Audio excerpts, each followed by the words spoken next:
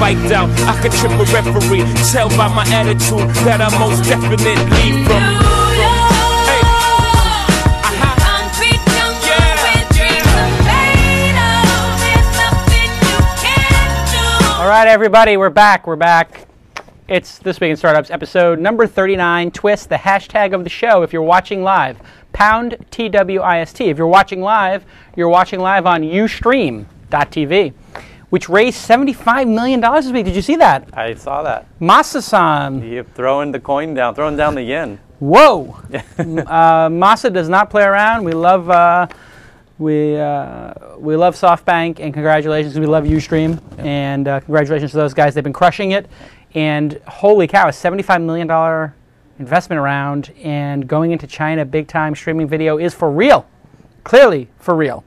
And we had a big week. Yeah. Uh, we made a trip, first trip. I think I this is the first trip since I had the kid. Yep.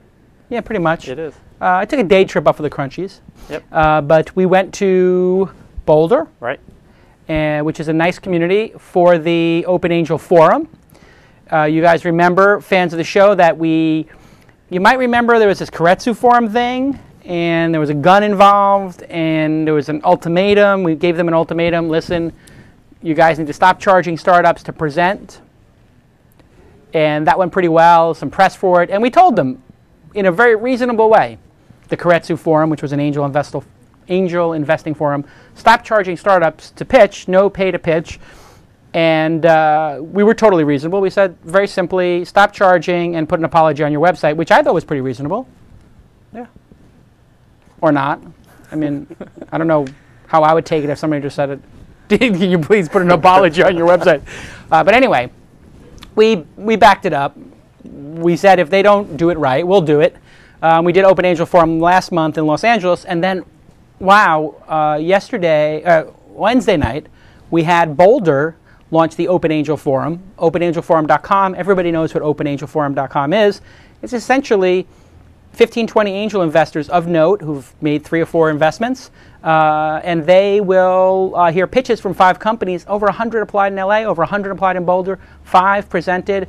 Uh, the ones that were in the LA event, I think I'm going to invest in two of them. I can't announce it yet, but you, have, you can probably do the math. Uh, and now in Boulder, I may invest in one of those companies. It's three out of the ten I think I'm going to wind up investing in. I, I don't have that much money to invest in all these things. I need to start a venture capital firm. it's problematic because I wanted to do 10 deals a year, and we did three, and three or four in the first month. So uh, we got a problem, a good problem, I guess. Uh, but Open Angel Forum coming to other cities. We're so lucky to have it in Boulder with uh, David Cohen, who runs TechStars. TechStars is like an incubator program. You should totally check that out. If you're an entrepreneur, that's a great way to start your career off. TechStars.com. And Brad Feld, who is a great venture capitalist. He's B Feld on, um, on Twitter. And David is David Cohen on Twitter. And Brad Feld's dad is uh, S. Feld. Yes.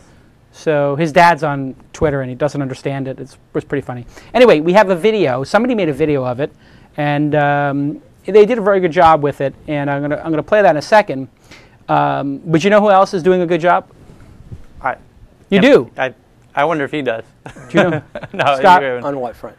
But don't worry about it. Uh, the person who's doing a great job is Bing. Microsoft's Bing, of course, sponsoring the show, sponsoring the Perfect Pitch Contest. You must submit your pitch for Jason Shark Tank by February 16th.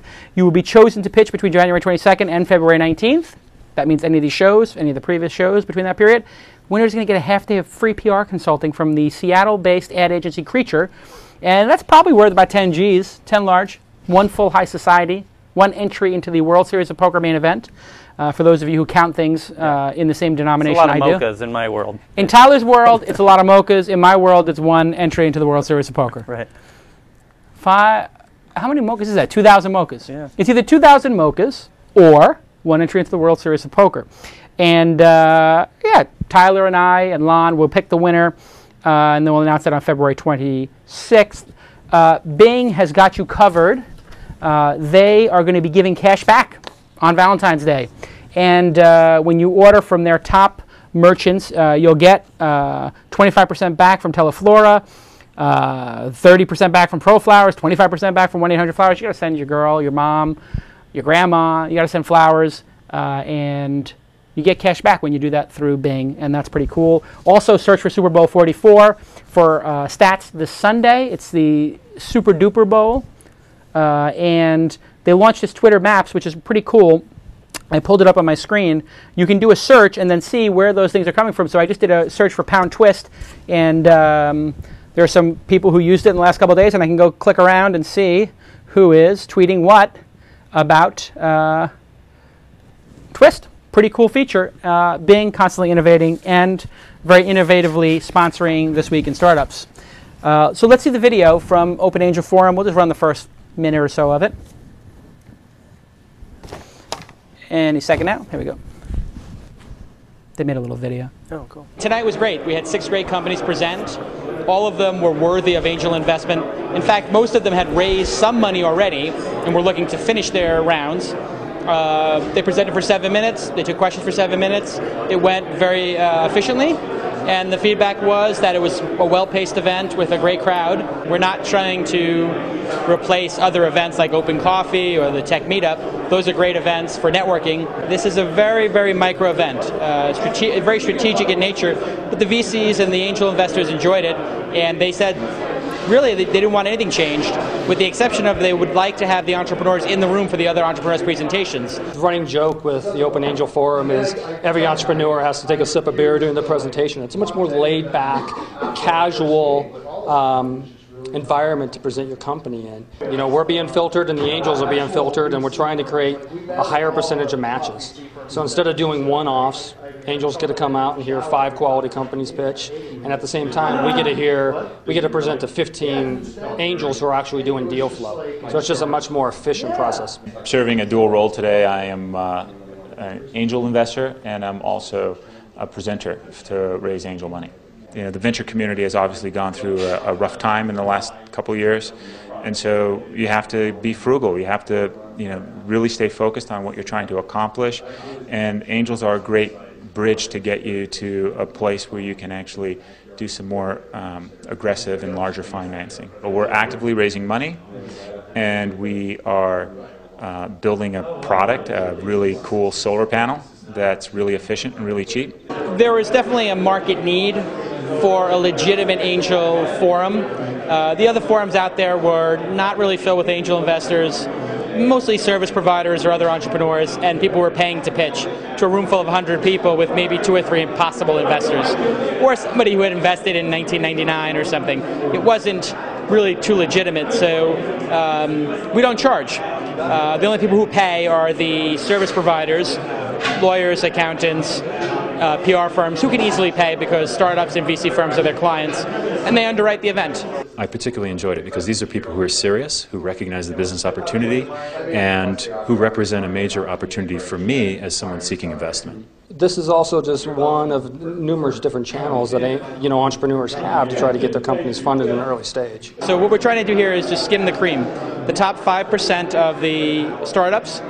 So we had five people out of 100%, or six people out of 100% who applied, and then the top angel investors. So we probably turned away more angel investors or, you know, wannabe angel investors than we actually had at the event. We only want to have 20 people max in the audience. We might raise some capital. We might raise an angel round and you know just get any one of the 15 angels that are here tonight on involved in our company will definitely be a benefit. It's just not the capital, it's also the experience and the knowledge that the angels can bring, especially this select group of people. I would say, frankly, that this was the best opportunity that I have had so far to raise money for my company, by far. Of all the things I could possibly have done, and I've been venture backed before, but for where we are and what we're doing, this, this was the event. Awesome. Wow. Uh, thank you to Colorado TV for taking the time to film that little uh, vignette. Video is very powerful, and gosh, why didn't we think of that? We should have done that for LA. Any thoughts on the I, uh, I think we did. We just wanted to keep it a little more. Uh, intimate? yeah. I guess so. But he you did a great job because he stood far back outside of the room, Right. shooting through the glass and everything, so it wasn't Right. like intrusive. Uh, so, what was your takeaway from Boulder, Tyler? Awesome TechStars program out there, and the community out there is really strong. They're all, so it has this very kind of teamwork, uh, positive teamwork, energy. yeah. You know, very efficient because you can walk everywhere to from Yeah, one like company whole to the other. yeah, startups. And they, they have so many events. It's like you made a pun during the Tech meetup. It's like there's more events than startups out there. It did feel like that. Uh, and what a community, and David Cohen uh, doing a great job there with Techstars. Yeah. And it, just the excitement level in Boulder is amazing. And um I was really happy. And it's almost as if you can see a vision starting to gel, I think. We, we saw a problem in the market, and really this is a good lesson for everybody who's a startup. You know, you see a problem in the market, it pisses you off, you think about it, you rap out about it, you come out with a better solution, and you test it in the market. We tested it in two cities. In both cities, we sold a number of tickets. I think we had $3,000 in revenue from service providers in LA and 6,000 maybe in Boulder. So the two events made $9,000 total, and they cost three or four thousand dollars to do. So it's breaking even. It's not not a money making opportunity for me or anybody involved, but we proved the point that you can run one of these things efficiently at a high quality level without uh, charging the startups. Mission accomplished. Uh, and I have a really great idea when we get to 10 cities. Um, I was just thinking about because we have 10 cities, you realize, quarterly. Yep. That would be 40 events. Yeah, it's one like one a week. Five at each Yeah. is 200 companies. Yep. If we charge each of those companies 3,000 each, that's 600 grand we could make. Awesome. This is really what entrepreneurship is about. No, we're not going to charge the companies. But you can see how evil people, that's what happens. They're just like, oh my God, wait a second. We've got this power. We can, we can go screw with people. Uh, laughing in the background is my good friend Scott Morrow. Scott Morrow uh, is the CEO of Curate Media, formerly known only as This Next, now known as This Next, and also Style Hive. Hive, right? Yes. There's like five style companies. There's There so many. Oh, there's so many. Everything yeah. style this, style blender, style fender. We bought the style good one, yeah. You bought the good one, style hive. Um, I know this next very well because Gordon Gould, my good friend, Mm-hmm. uh, was the founder, and I was on the board for a bit. And you guys had a great week this past week. We did. Raised some money did. and made a big acquisition of Style Hive. We did. how's uh, how's it been? I see you got a ton of press for everything. We got great press, um, and you know I think it's a reflection that social shopping is hot right now. You know, back in 2006, Hearst bought Kaboodle, Yep. uh, and if you'll recall, there were four original companies that kind of were leading social shopping: Kaboodle, This Next, Style Hive, and Style Feeder. Right. So Hearst bought Kaboodle back in 06. Two weeks ago, Time bought Style Feeder. Hmm. Uh, again, a second validation in the market, and then we've consolidated the other remaining player, which is Style Hive. And there are a lot of smaller players, but in terms of companies of note and scale, we're now the largest uh, social shopping player that's remaining. And what does that exactly mean for, for somebody who has never heard the term social shopping? I mean, when you go shopping with your Yeah. friends, is that social shopping or does this mean something else? Well, I have to tell a little bit of a story because it is a great anecdote. Um, Bob Tedeschi, uh, writer at the New York Times, Right. he wrote a debut article back in 2006 on this next. And he coined the phrase social shopping. So we actually birthed the category when we launched Wow. this next. And he said it's kind of social because there's social media tools and you can buy things, hence social shopping. Right. So uh, it's been an interesting kind of evolution that the market has just taken hold of that. And Right. It's a now category. yeah, it's a category, and um, you know we've kind of pioneered it, and Right.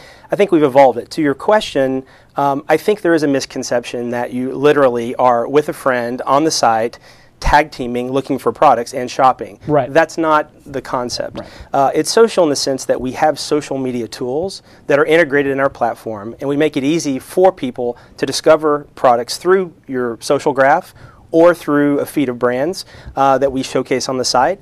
And then, in essence, you can shopcast or put out those pics that you find on your blog, on your um, MySpace page, on your Facebook. Sure. You can Twitter about it. Um, it's just it's social in nature. It's not that you're you know, arm in arm with someone. So users come on the site, they pick what products they like. Yep. You friend a bunch of people like Facebook, and Yep. all of a sudden you've got a stream of products Absolutely. coming from people who are like-minded. Exactly. Uh, and uh, it's been going well. And we'll talk about more uh, more about the acquisition and what Curate Media means uh, going forward. But it's uh, time for a segment that most people consider their favorite part of the show. In fact, it could be its own show. It's uh, the segment known as Ask Jason. And that's a little graphic. And the phone is ringing. And when I answer the phone, I'm pressing the speaker button. Okay. Uh, this caller is calling from 01145, which I know as the area code of Hoboken, New Jersey.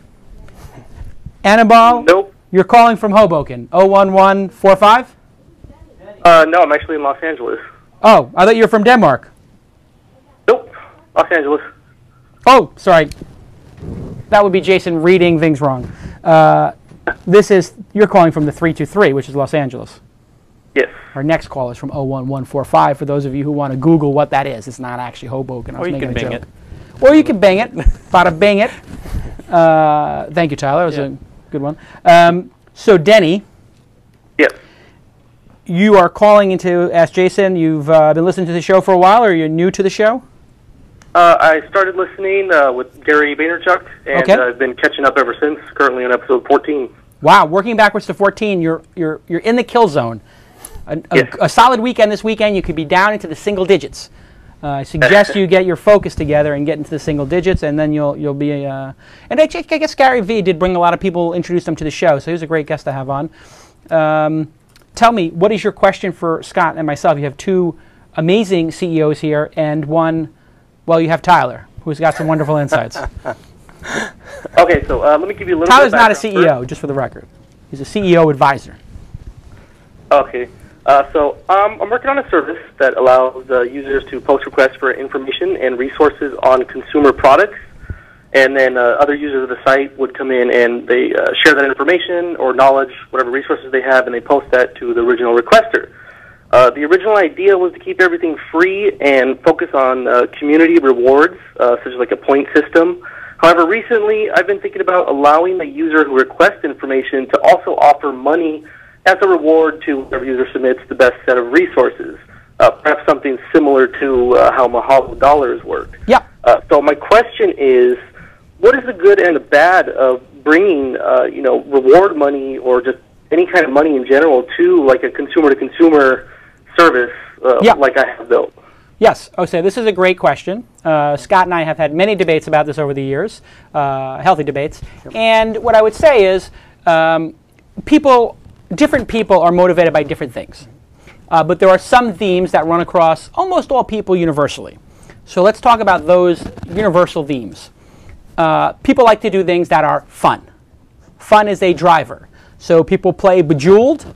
I don't know if you guys play Bejeweled. Sometimes you'll see on my Facebook page I play Bejeweled 2 on my um, on my iPhone. It's ridiculously addicting. So whenever I've got a spare moment, sometimes I'm sitting there with the, my baby asleep on my shoulder, and I'm sitting there like I'm trapped because you know when you, this is what happens when you have a kid. You put the kid down on your shoulder, they fall asleep. You're so paranoid about getting up. you, you you're basically like I'm I'm staying here. So then I just got my iPhone. I'm playing Bejeweled. Anyway, the fun of it makes it rewarding. However, there is also recognition in that you get badges and you get to reach different levels. There is also competition because you get to see how you do versus other players in Bejeweled 2, uh, which is a crazy game. Uh, and uh, so that's the recognition, affiliation, compensation. Uh, these are all different drivers. In Bejeweled, there is no compensation, but still people are addicted to it. In Call of Duty, there's no compensation, people are addicted to it. However, in skee ball, uh, you ever play skee ball? Denny, when you were a kid, you get all those tickets, right? There's some things. Poker, there's lots of compensation if you win. Gambling, compensation if you win. Doing your job, compensation if you win. Uh, but money tends to be a low driver. Virtual currency is something new. Virtual currency combines part of the desire to get money, and money is a very weird driver for people. It's, it's very double edged. People will do crazy things for money, as we've seen in today's news on Tech. I'll get into it later during the news program. People will do crazy things for money, but people also will not make money their life's work in general. They, they'll, they'll want to work at a job, maybe not for max money, but for max pleasure and enjoyment and fun and, and interest. But virtual currency taps into the competitiveness and the recognition and completion uh, drivers. That's why Zynga, Zanga, uh, Mark Pincus's company is crushing it. And that's why World of Warcraft is crushing because they're making money uh, by selling virtual currency. So virtual currency is a whole new category and it combines multiple drivers. You get the recognition, the accomplishment, uh, and you, might, you get some compensation in there. So I like having multiple drivers in a system, and this way, different people can be motivated by different ones, like a leaderboard for competition and recognition, other people for uh-huh. cashing out their Mahalo dollars. There are people inside Mahalo who make, you know, 100 Mahalo dollars, 200 Mahalo dollars a month and can cash them out. And instead, they ask questions of high value because they, they prefer the joy of giving the money away. And that's another drive of people altruism, altruism, Altruism. Altruism. Yeah. Altruism. You yeah. said it. You got it. I said it. I got it right.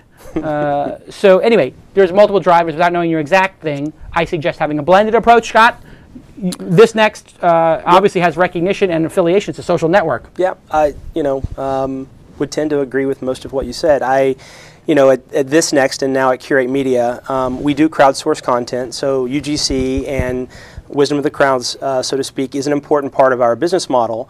Um, we have not made um, economic reward a primary feature for creating community and you know drawing incentives around that. Um, rather, status, uh, recognition really are the two core components that we focus on when we build tools and features for our community. Now, I will say this, and it ties into what you were saying about virtual currency. If you can make your status, you know, credible and worth something, then it actually connotes value for the person who's getting that status. So, for example, if I'm a community member and you bestow upon me the fact that I'm the number one recommender or tastemaker in New York for fashion, and you allow me, because you're credible, to put that distinction on my blog or any of my social media, Right. that's worth something. Sure. I mean, you know, if I'm an independent consultant and I have a business on the side and it happens to be something around fashion, and I have a third party who's credible in the marketplace saying, hey, you know, I have nothing vested in your gain, but I'm going to bestow upon you this distinction that you're number one in fashion in New York City. That's credible, and that Yeah. actually has value. So, So that it- giving of credibility is a form of recognition, I guess. Yeah. And you're you're anointing people, which Absolutely. is very powerful. Absolutely. And it's it, it that uh, also um, uh, mixes up with affiliation. They're Absolutely. affiliated with other experts. Absolutely. So I knew for Weblogs Inc., just being a blogger on Engadget for some people was more important than the check. They didn't care about getting 10 bucks a post. They cared about being an Engadget blogger. They cared about going to CS. That was fun. That Right. being said, money is a big driver. And if used correctly, everybody's got to eat, right? Everybody needs to get a taste. People have bills to pay. It's good when you can blend them. When we did Weblogs Inc., people would criticize us for paying bloggers back in 2005, 2006. Oh my God, you're paying bloggers. You're going to ruin blogging. It had the opposite effect because we were paying people enough to live off of so that they could spend more time doing what they loved. So there is a balance. You don't want to create a system where people get so greedy that they forget about why they're there and it just draws the people who want to game the system. Uh, that's why on Mahalo we make it $150 to cash out for real cash. Because we don't want people who are there to make a quick buck. Anybody who's there to game the system, we're going to find out they're gaming the system long before they hit that 150 cash out. We will let people cash out in future versions of Mahalo for like a, a beach towel or a mug for 10 Mahalo dollars or something. But then they're gaming to get you know, swag, and it's not that big of a deal. Look at what happened with uh, real estate and the mortgage crisis. This was Wall Street at its worst, gaming the system for money and greed, and brokers doing the same thing, and even in some cases, uh, individuals living well above their means, gaming the system for monetary reward. So you got to be very careful. Does that help? Yes, absolutely. It's extremely valuable information. Okay. And uh, if you want really good examples of virtual currency, you obviously want to spend some time with Zynga uh, and World of Warcraft. Uh, and you, if you have a friend who is Korean, ask them to show you Cyworld. Uh, and Cyworld, people spend a lot of money putting buying coins to put music on their site, like you would pay for a ringtone. Uh, so micropayments, everybody thought that wasn't going to work. It hasn't essentially worked, but virtual currency has. So it's sort of like micropayments. If you type in, type in micropayments in Google in Bing, if you Bing micropayments, you probably find some interesting things. And look actually for virtual currency and then do a Bing video search because it's incredible. All right. Thank you for calling in, Denny. All right. Yes. Thank you When you went much. to school, did people make fun of you like, oh, Denny, Denny's? uh, yeah, a little bit here and there. Yeah. So did you call yourself Danny or something? Or did you think about changing your name to Danny or what? I mean, a, a lot of it, I've been called Danny, Vinny, Jenny. I mean, the- it's, there's a whole there's a whole slew of different Exactly. things I've been called, but I You always know- got to correct it. It's Denny, like the restaurant. Is Denny like the restaurant. Oh, Denny's, oh, Grand Slam. Uh, that, you think that's bad? I mean, I, you did have it bad. I could tell with the Denny's thing. 'cause that, but anyway, he serves free breakfast on his birthday. so- exactly. So free breakfast to himself on his birthday. Um, people would come up to me every Friday the 13th and say, "Oh, like Friday the 13th, like Jason Voorhees," and I go, "Oh my God, you're so clever." How long did it take to think about the fact that it's today is actually Friday the 13th and my name is actually Jason and the murderer in Friday the 13th is Jason? Tyler, what did they make fun of you for? They didn't make fun of Tyler because he's so damn cool. I had it easy. He had it easy because he's cool, man. Everybody wanted to hang out with the cool kid. I take Tyler with me around the world. Everywhere we go, everybody just wants to hang out, talk to Tyler. All right, thank you, Denny's. I mean, Denny.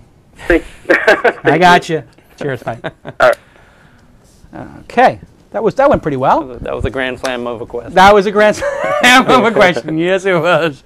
Real to tutti fresh and fruity. Great advice, Scott. Oh, well done. Thanks. No. And uh, uh, you know what else is great? DNA Mail, DNA Mail. Everybody loves DNA Mail. Sponsoring the show since episode one. They've done 39 shows in a row.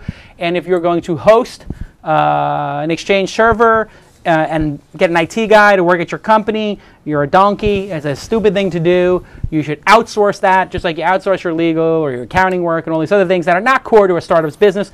And DNA Mail provides fully hosted, managed Microsoft Exchange and Google Apps. They partner with Google. Huh, pretty good. And it's much more economical. You pay per user. There's no other cost. It's 99.9999% uptime or whatever they say uh, when they do all those nines. And uh, yeah, go ahead. Try to host your own email servers. You're going to be the cost of like upgrading the drives and dealing with when they crash and all your emails down and everybody's complaining and work stops. Forget it. DNA Mail. Everybody loves DNA Mail. I've been practicing my reads. Wow, that's pretty good. I love doing the That live commercial That reads. was good. It's so much fun. Uh, okay, now for the next part of uh, the sh- show is Jason's Shark Tank. I need money. What I want, that's what I want. That's what I One more time. want. What I want, that's what I want. Boom! 540 people are watching live, and uh, even though Mark Burnett didn't uh, select me to be on Shark Tank, the other big uh, reality TV show emailed again this week. They got treatments, and we're, we're going into, uh, I guess we're going to have meetings. Meetings. You're going to be pitching the pitch show. Pitching the pitch. show. Pitching. All right, here we go.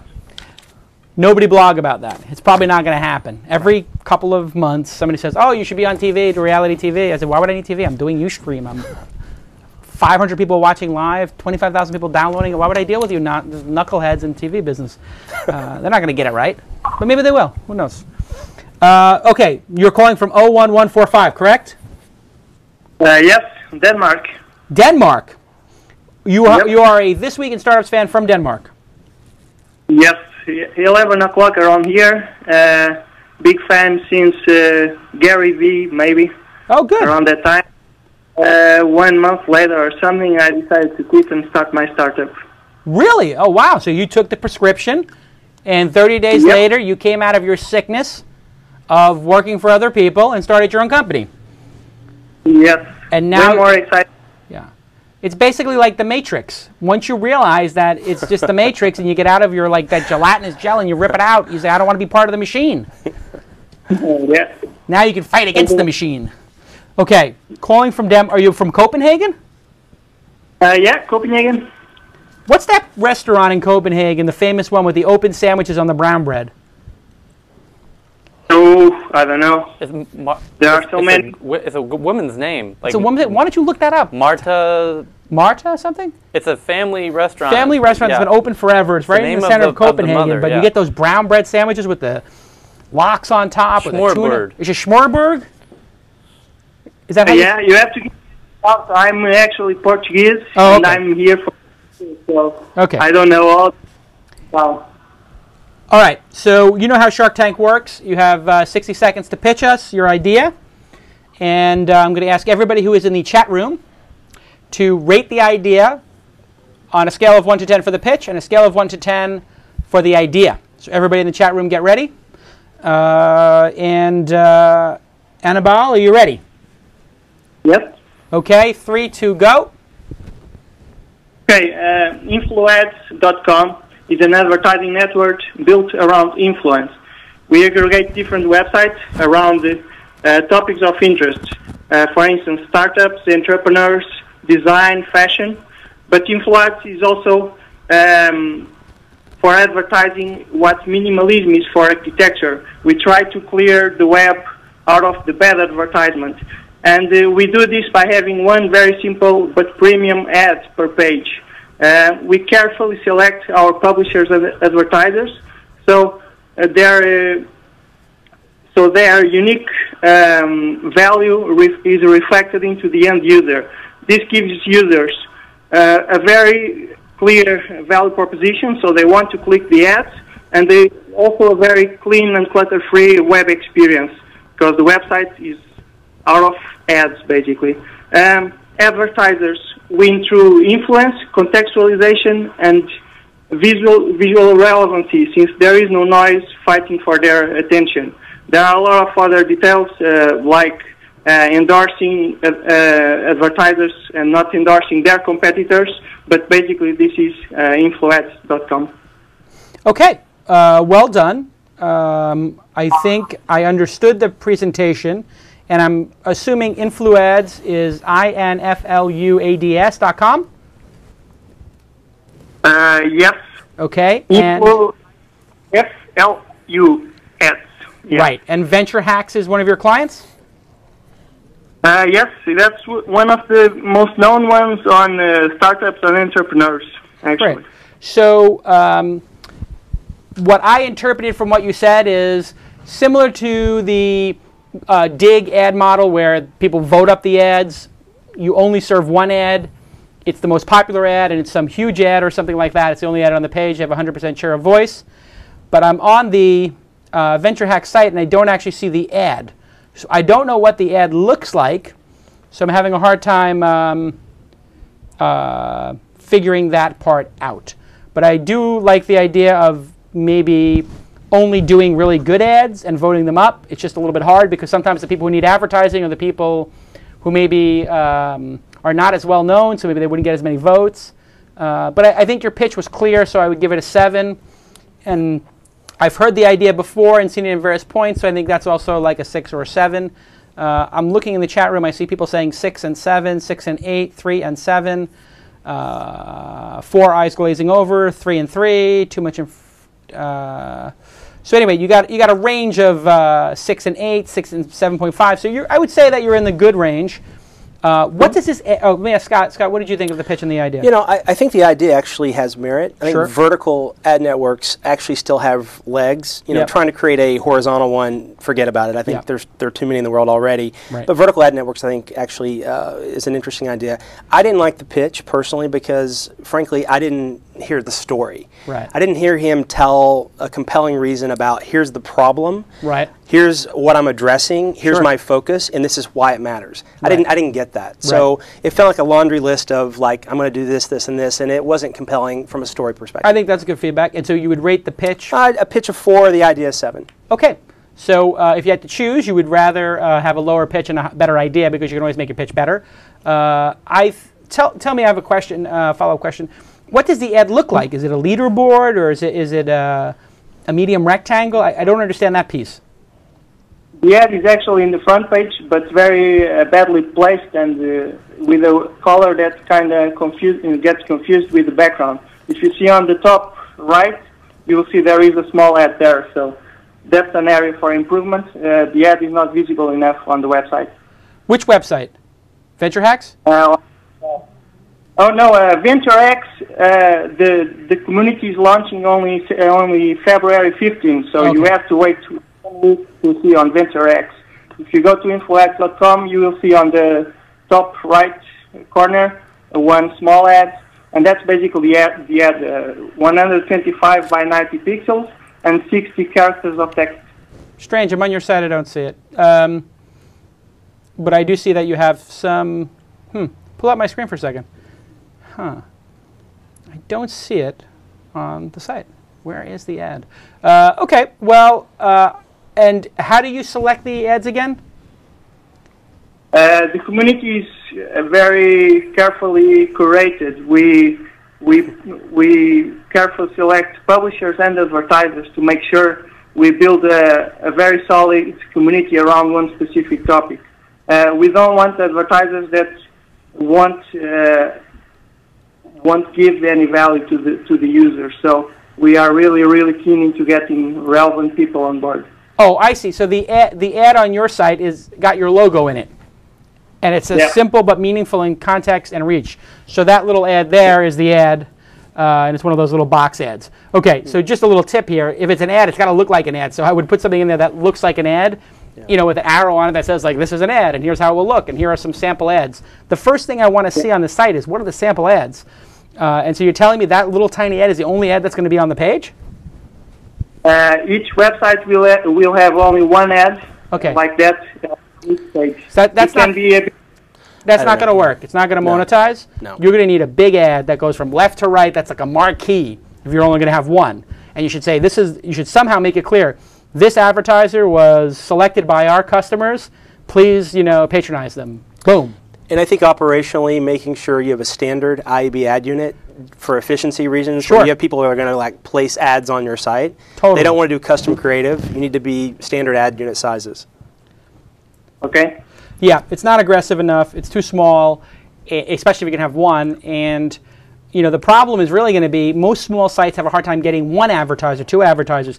Now you're saying there has to be a market of them to get voted up and down, and so that's going to be hard um, because you're going to be turning away money, and most people can't don't have enough money. So, you know, if you if this was Engadget and was sold out for the year, you could you could maybe do that. And in fact, I think that's how I think either Vanity Fair or Rolling Stone worked that way. They used to, or maybe it was um, Cigar Aficionado. The the head of the publisher of Cigar Aficionado, I think, used to pick who got the back cover based on how beautiful their ads were. Oh wow. So like you could say like I would like to have the back cover, and then he'd look through the ads and say okay you got it, and then they charge you a little extra for the back cover from whatever spot you're in. Anyway, you did a good job. You got a lot more work to do, and uh, everybody can follow you. Are you on Twitter at InfluAds? Uh, yeah. Okay, so everybody will follow you and uh, keep us apprised. Scott Simcoe, superfan Scott Simcoe, who is now blogger Scott Simcoe, will be following up with you in 30 days and seeing how you're doing. Uh, hopefully, you can uh, uh, keep iterating and make it better. Yes. Well Thanks done. a lot for the feedback. Cheers. The feedback by Twitter is very welcome. Okay, good luck and uh, get some sleep. Thanks. Bye. It's freezing in Denmark. Um, The Danes. the Danes. I, I have a hard time with ad networks because Yeah. You know there's a lot of great innovative ideas, but you know you ha- it has to work for the advertiser. I don't know how this exactly works for the advertiser. I understand why it works for the users. Users want to see better ads, um, but uh, I'm not even sure it works for the publisher. You got to pick one. Either work for the publisher or work for the advertiser. I mean the only thing that Google AdSense does work for the Yep. publisher, the Yep. advertiser, Yep. and the consumer. Because of liquidity, though, they have enough volume. they have and critical mass. Yes. and Scale matters. His idea, scale matters, and Yeah. he doesn't have it. Uh, even uh, if you look at Digg, which is a very significant site with 40 or 50 million uniques. I'm not sure exactly how many they have, maybe 40 or 50 million uniques, and they even are having a hard time. But they're doing something very innovative with you. You dig the Sure. ads, and uh, you know if they get a lot of digs, they get charged less money, which I think is pretty compelling. So That they is get to show more ads. That is good. So the more digs it gets, the lower the price gets. I mean, it's great that people are trying to crowdsource this, but ads are meant to be a little disruptive. So it's nice to innovate, but hmm, who knows? Now we got an interesting package in the mail, and I should probably show it, but let's see here. This is a pretty crazy. We get a lot of crazy super fans on the show, Scott Okay. and the super fans um, like to they're very creative the super fans Should I stand back? no it's not a bomb i always yeah when, when these kind of boxes come into the office i'm like hmm, this could be dangerous tyler you open it uh, Well, and cool. so they, somebody made t-shirts but not one but a number of them and you might recognize some of these this t-shirt says well it's kind of hard to see because it says but it actually says like sneakers at a funeral Oh my God. which some of you might remember is an insight by Tyler, like sneakers at a funeral. Pretty nice. And I wonder if you put on Scott's camera for a second. Maybe I can hold that up like that and you'll see it. Can we try uh, the guest camera? Yeah, there you go. Look at that. I can actually. So there you go. That's like sneakers at a funeral. Pretty funny. And they actually have uh, sneakers on a coffin. Pretty good, huh, Tyler? Yep. Then, uh, if people are like, "Oh my God, it's, that's so awesome," it gets better. That is but one T-shirt. Uh, this one, everybody remembers as a great insight by Tyler, which is, "It's like betting against the Mayans." Which, if you don't know why you shouldn't bet against the Mayans, you shouldn't be betting. And you can see there's a Mayan temple on the Ace of Spades. Like betting against the Mayans. People are going crazy in the chat room. Uh, then, another great T-shirt. It's like Japanese jazz. Another great insight by Tyler. And the final one, everybody's favorite, probably the one that started it all. Was that the one that started it Yeah, all? it is the first one. And the one that started it all, of course, like a wheelchair at Disney. And you can see the person in the wheelchair is obviously Mickey Mouse if he was handicapped. So, like a wheelchair at Disney, some insane fan went crazy and made these shirts. Now, we, we got four of these shirts, but are they available for sale on the site? I, he didn't say. He didn't say, he just sent them. He did leave his phone number. He left his phone number. Let's do. Let's try doing a little live call. This is the first time we've ever done it. We're gonna call the guy who made these crazy shirts, and we'll see if we can buy them.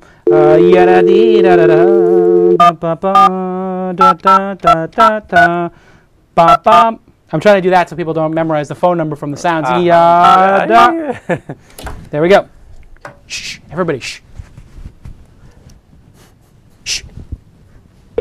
Shh. It's ringing. Shh. Is that his name on there? Shh. Shh.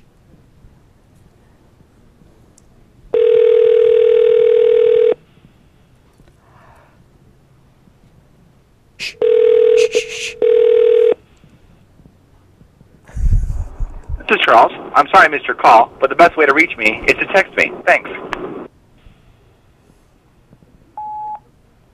Hi, Charles. It's Jimmy Wales. Um, I noticed your website and I was really interested in talking to you about how we might work together. My phone number is 310 456 4900. Again, it's Jimmy Wales of Wikia.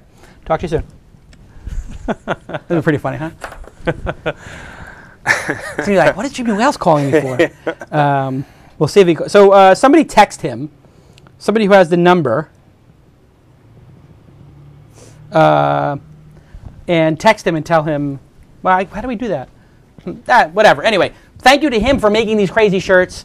And the guy is from uh, uh, Sure App.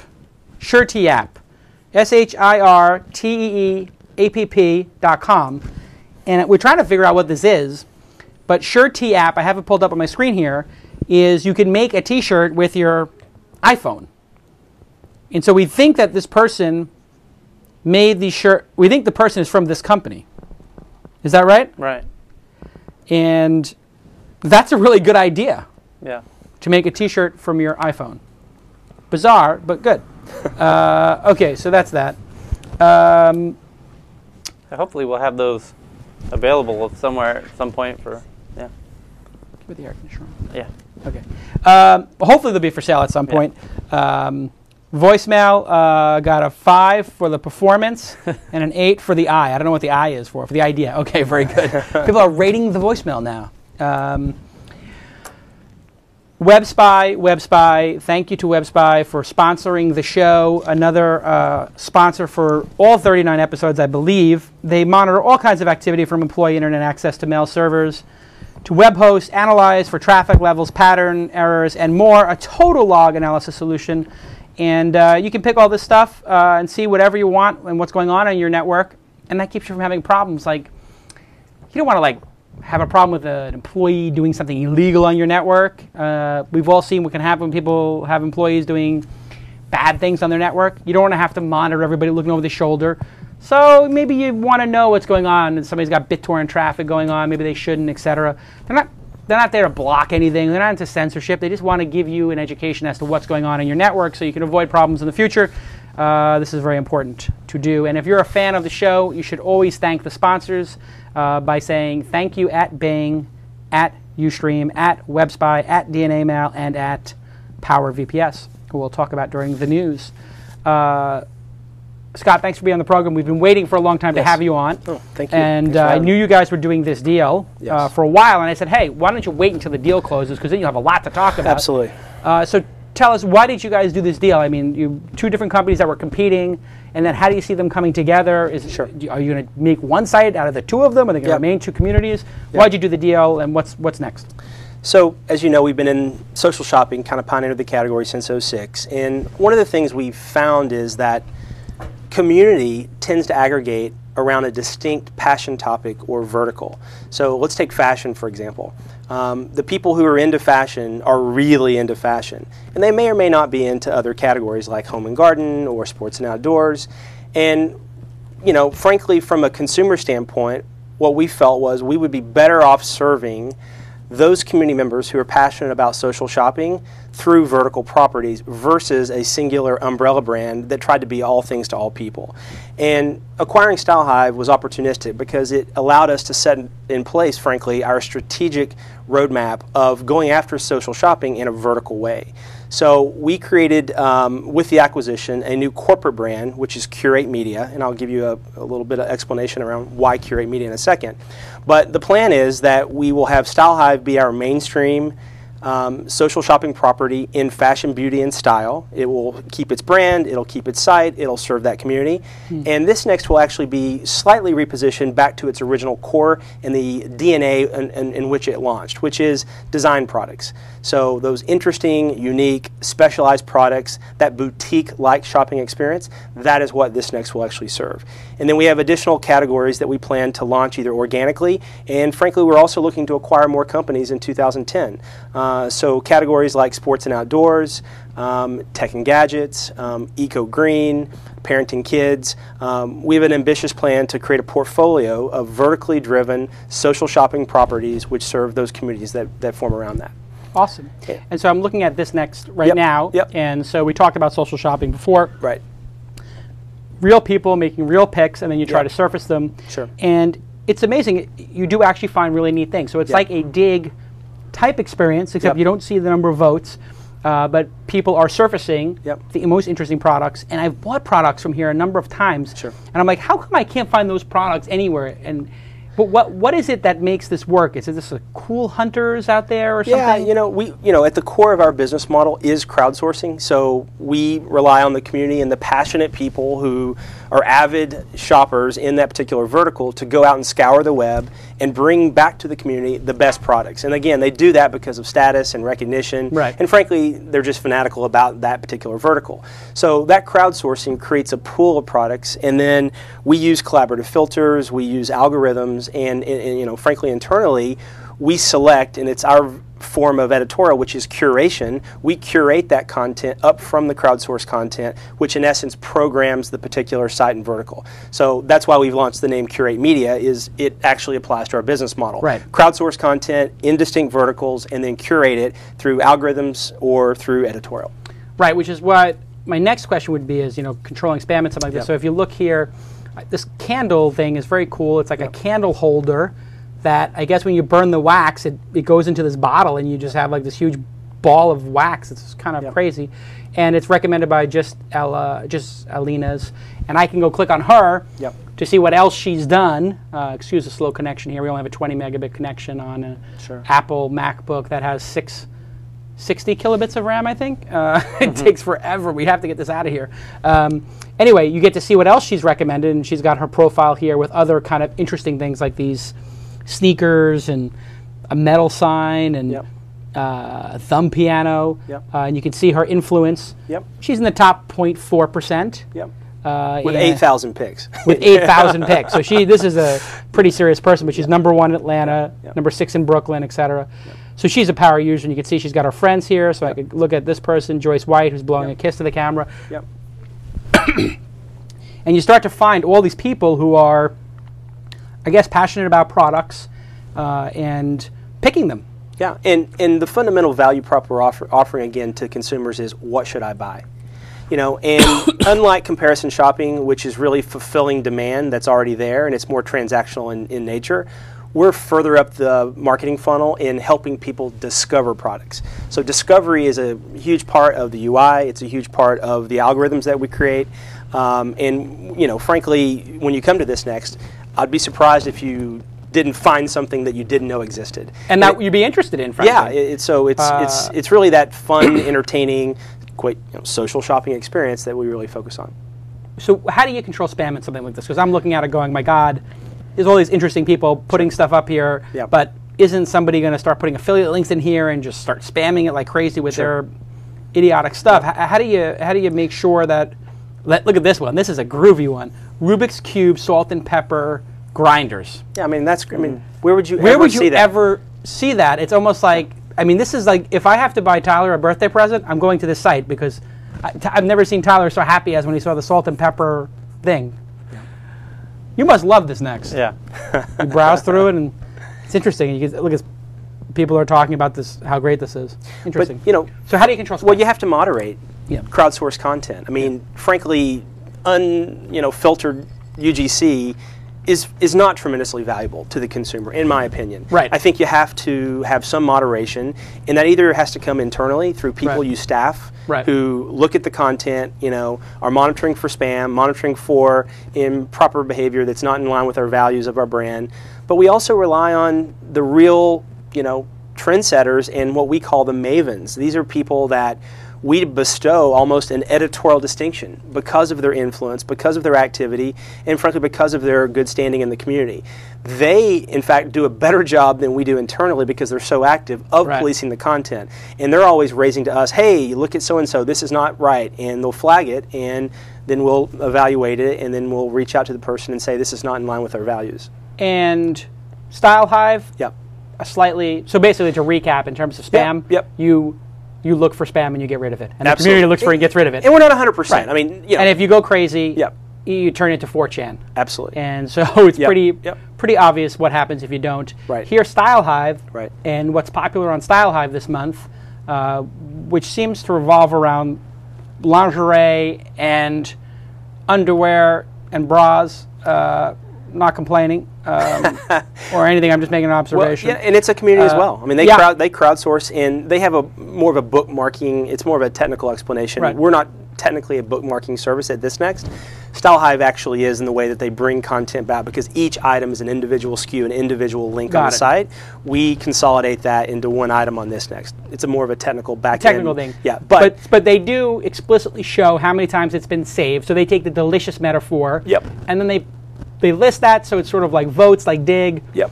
You guys don't show votes. No. What is the uh, thinking behind? Because now you have two brands, one showing votes, one Sure. not showing votes. Yeah. What is the thinking? Uh, which works better and why? I, I don't. I don't think it's a matter of one works better than the other. Um, I, you know, frankly, one of the things we liked that they had and did a better job and showed proficiency around was creating editorial. You'll see that there's actually a pretty active blog component to the service and the programming. And frankly, on ThisNext, we had relied almost entirely for the last three years on crowdsourced content that we filtered, of course, and moderated. But we felt that we could actually enhance the value that we provide to users around product discovery by putting more of an editorial veneer on top of the crowdsourced content. So they've done a good job of that, and we certainly want to borrow that in terms of enhancing our service. Um, and you know, frankly, I think it's the combination. Um, you know, I had a lot of debates with a lot of people who run community, and there's so many. Um, you know, frankly, dogmatic uh, philosophies about, oh, if you crowdsource content, it's the only form of content you can have. I, I don't believe that. I believe crowdsourced content can coexist with editorial. I think it can coexist with brand content if labeled and marked accurately. And I think it can uh, coexist with other forms of uh, paid content. Yep. And, you know, frankly, as long as it's delineated and as long as it's focused around product discovery and helping the consumer get to those great products, to me, it's Mission actually a win-win. Yeah. So uh, I don't really, you know, view it as they're better, this is worse. I think Yeah. all content is either It's helpful. done well or not. Yeah. So I guess if the mission is to find interesting things, both sites do Yep. that. They do it slightly differently. Yep. Uh, here's one thing that Style Hive that has that's pretty interesting, which is a leaderboard Yep. of the top users. Top user with 24,000 people, Yep. 6,900 people on BusyBee, follows 12,000 following this person, 11,000. And then I see something interesting. Saks Fifth Avenue Yep. has a user account, Yep. as does Levi Jessica. I'm assuming that those two people are the actual are actually from the brands. Absolutely. And that's one of the things they do a much better job than we have at ThisNext. But we frankly want to borrow that and leverage that into Yeah. our platform because again, if you're passionate about a particular vertical, getting brand qualified, uh, brand content that's delineated, qualified ahead of time, I think is a, a value to the user. Yeah. Um, so they do a great job of it, and, and uh, we, you know, we're going to definitely leverage it seems like the what what Style Hive has done particularly well Yep. is get this uh, sort of social media following each other thing Yep. going really well. Yeah. But when I look at the top level of it and I try to browse it. Sure. not as great of a browse experience as No. ThisNext. No. So Yeah. now, as a CEO of two Sure. companies with two different skill sets, Sure. one is doing a great job on community, crushing it, but not very browsable, looks Sure. a little too busy to me. Yep. The other one looks gorgeous, Sure. but maybe not as much community activity. Yep.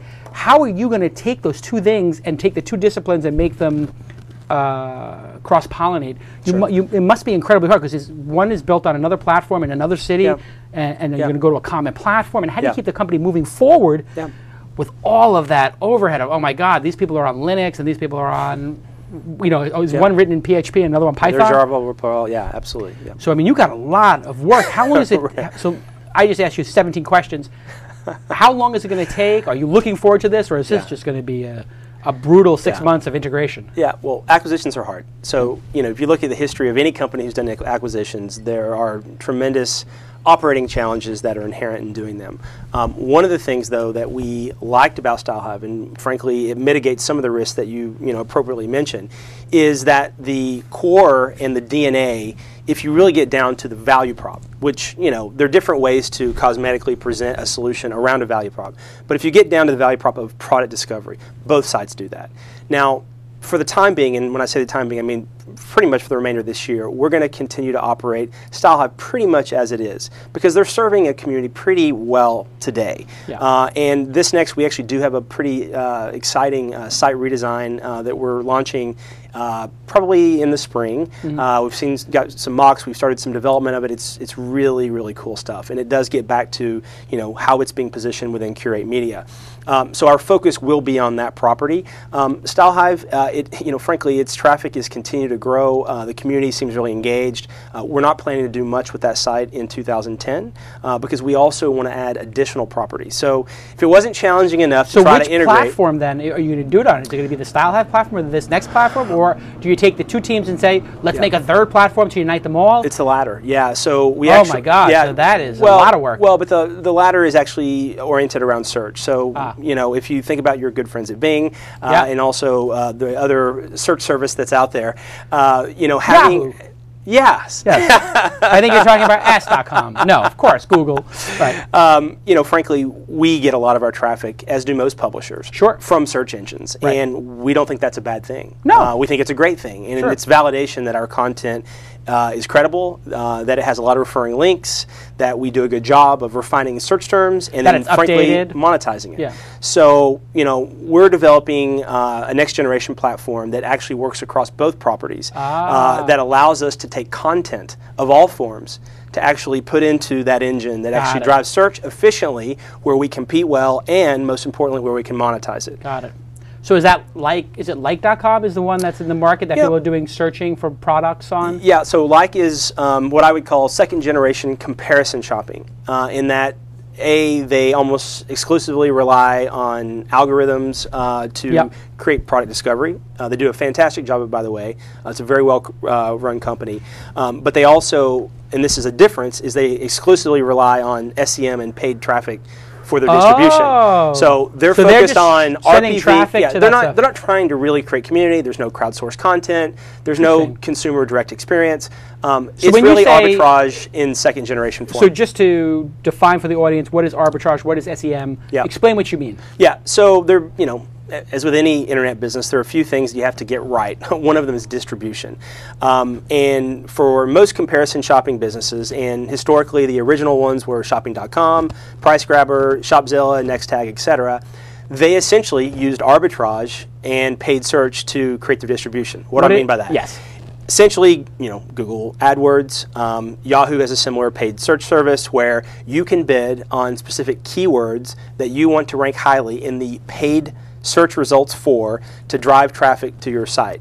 So it becomes a game of arbitrage because what you bid on that keyword to drive traffic from the search service into your property you obviously have to make more money than what you've bid on in order to create margin. So these companies become maniacally focused on revenue per visit and click-through rate. It's almost the only metrics that matter. They Right. don't they don't care about direct audience, they don't care about engagement, they care about how efficiently can I get you into my service and get you out in margin. So Okay, so that's here the arbitrage. I just typed in a search for men's blue shirts, Yep.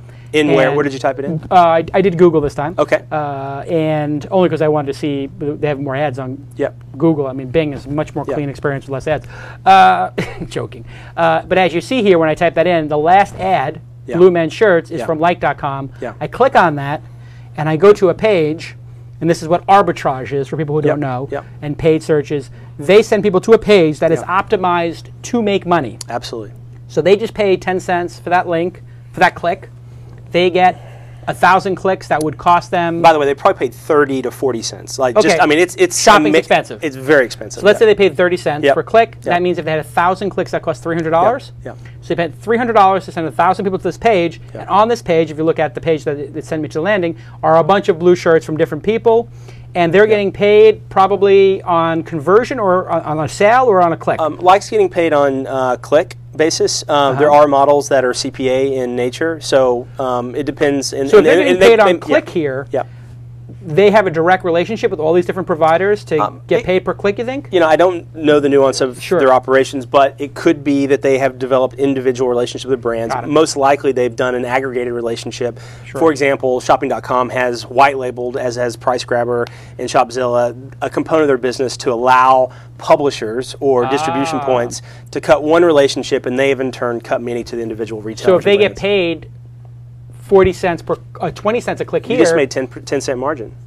if they get paid 40, but And then it- why wouldn't that person just buy blue, the keyword blue shirts themselves? That's what I don't Which person? Um, The, the Zappos, or because I saw Zappos on the list, or, or Cattenberry, or whoever these people are selling it's, shirts. um, you know, the engineering and the, um, um, you know, frankly, the technology and the platform Ah, I see. involved to do paid search at scale. First of all, I'm sure they are. Right. so Zappos, any retailer, is Sure. doing some form of paid search, either in-house or most likely through Because I see through an Nordstrom and LLB Yeah, and, and End and J. Crew above them. So Yeah. basically, they're competing with them. Absolutely. To sell their own shirts. Yeah, like you know, if you you know operationally, I know you know, like for example, I think they have at the time 50 employees, 45 are engineers. Like it's a very engineering intensive business. So basically, do. their site has no community, but they just do all the SEM. Yeah. You guys are all community, and you get SEO. yeah. So two different types of business. Let's do, it, do an example by comparison.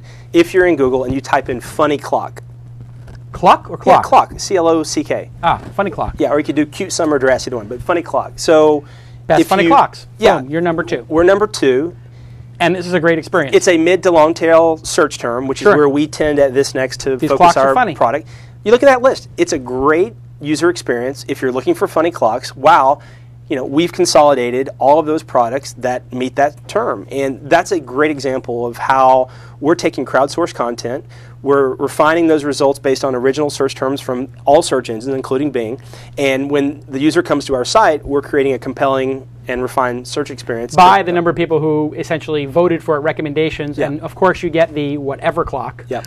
Yeah, which right. has this is this is for the person who's given up in Yeah, life. yeah. The whatever clock. Whatever. Tyler, I'm going to get you this for Christmas. That's great, isn't it? Whatever. Isn't that great? Yeah. I'll get that clock for Jimmy Wales. Yeah. Jimmy Fall's clock. Whatever.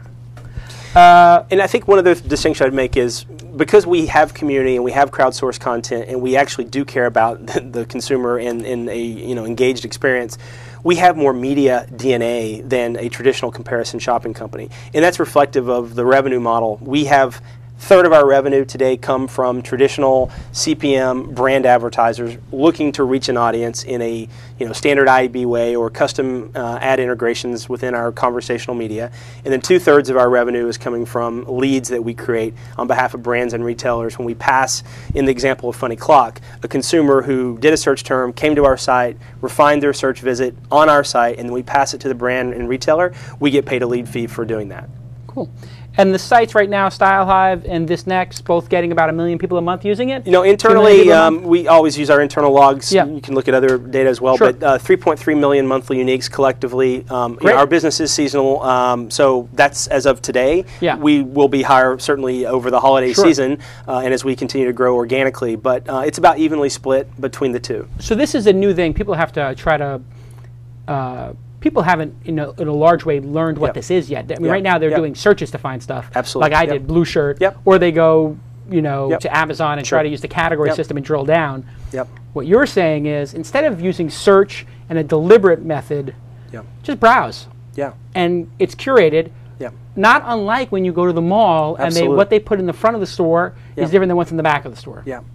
And there's so many use cases where that's appropriate. Let's say, in fact, someone who just had a baby like yourself. Yes. If I were to be a good citizen and a good friend, which I am remiss that I've not done that so far, You uh, and buy you a, a gift for your baby, where would I start? I don't. right. I don't have a child, so how would I search in Google for Right. baby gift? Right. Versus on a service like ThisNext, um, where you could actually discover cool baby gift I- products. It's amazing. I just typed in baby, and I really want to get this Jimi Hendrix yellow short sleeve onesie. Yeah. I mean, it, it Like, where would you ever find that in? You know, No. how would you search for that in Google? Right. Of you course wouldn't. not. Yeah. Uh, and all these oh baby book with a wood cover. It's kind of cool. I'm gonna just like see. This is the thing about when you do a search on ThisNext, you just sort of disappear into it for an hour because there's so many interesting things. One of the f- my favorite features, and I know you've been a fan of it for a while, and I think um, you even talked about it with Twitter developing a, a, a knockoff on ours as well as our world map of watching people Ah, shop. yeah, that's great. It's that- great. It's under Explore. Yeah, it's under Explore. It's it's um, basically it's a voyeuristic way to observe real time on our site what people are shopping. It's the for. shopping stream. Yeah, and so here it is. I pulled it up. and you know this shows you know What around the world. seeing? And look at this. I mean, you know, now we're in the UK. Someone's discovered a Dolce Gabbana corset. Now we're back in the US and LA. And again, this is real time on our site. This is a reflection of both the global scale of our business, plus it gives you insight into some of the cool, unique products. Down at the uh, footer, I don't know if you can see in the screen. I load, do. Um, it's loading the products that you've in essence discovered. Right. So it's creating a trail. Uh, and if, yeah. if at any point you want to dive deeper, you can click on one of those images and go to the, the item page and, and go, Sure. go go buy it. That is pretty groovy. Uh, Yeah, it's cool stuff. I'm waiting for something to come out from Kazakhstan, but I'm no, no, no. ThisNext user user's from yeah, North Korea. yeah. Not what? yeah. Yeah.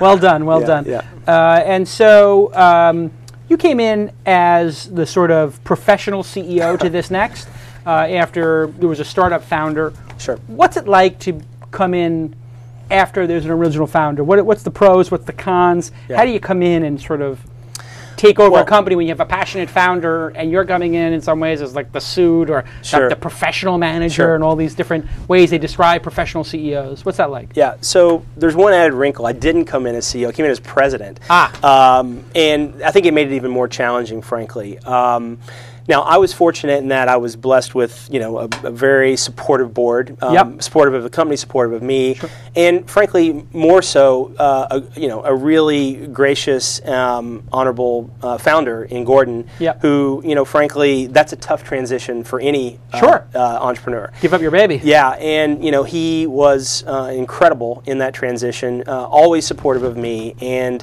um, you know I was lucky on that front. Now the challenges are tremendous. Um, typically, professional managers, and I say professional, it's not like entrepreneurs aren't professional, Right. But in terms of scaling businesses, you know I have professional training in doing that, Right. and have done so at a lot of publicly traded companies. Uh, coming in, um, there was a different way of doing things because it was very entrepreneurial, as it Right. should have been, very seed oriented. And you know, Gordon had a very special skill set that was or, you know oriented around early stage. Right. Uh, and um, you know, we were transitioning from that, and so getting an operating rhythm with a founder who remains in the business, who still has the CEO title, but the board and also the business is looking for more professional management and to scale the company, it, it, it's going to naturally create conflicts. And, you know, we had them. Uh, but again, I was lucky in that we worked through them. We worked through them with respect. And Yeah. he and I are still very close friends. Yeah. I see him occasionally, and he's still a member of the board. So, but, you know, it was it was a tough, tough uh, year Yeah, it's and a always half. a tough transition when yeah, the- and, when the and, you know, the the other part is, and you know, you've started a lot of companies as well and been tremendously successful. When you can pick your team from the ground, Yes. that makes all the difference in the world. Right. I inherited everything. I inherited a board. Right. I inherited investors. Right. I inherited a CEO Right. that I had to supplant. So then you've got to go create your own culture Yeah.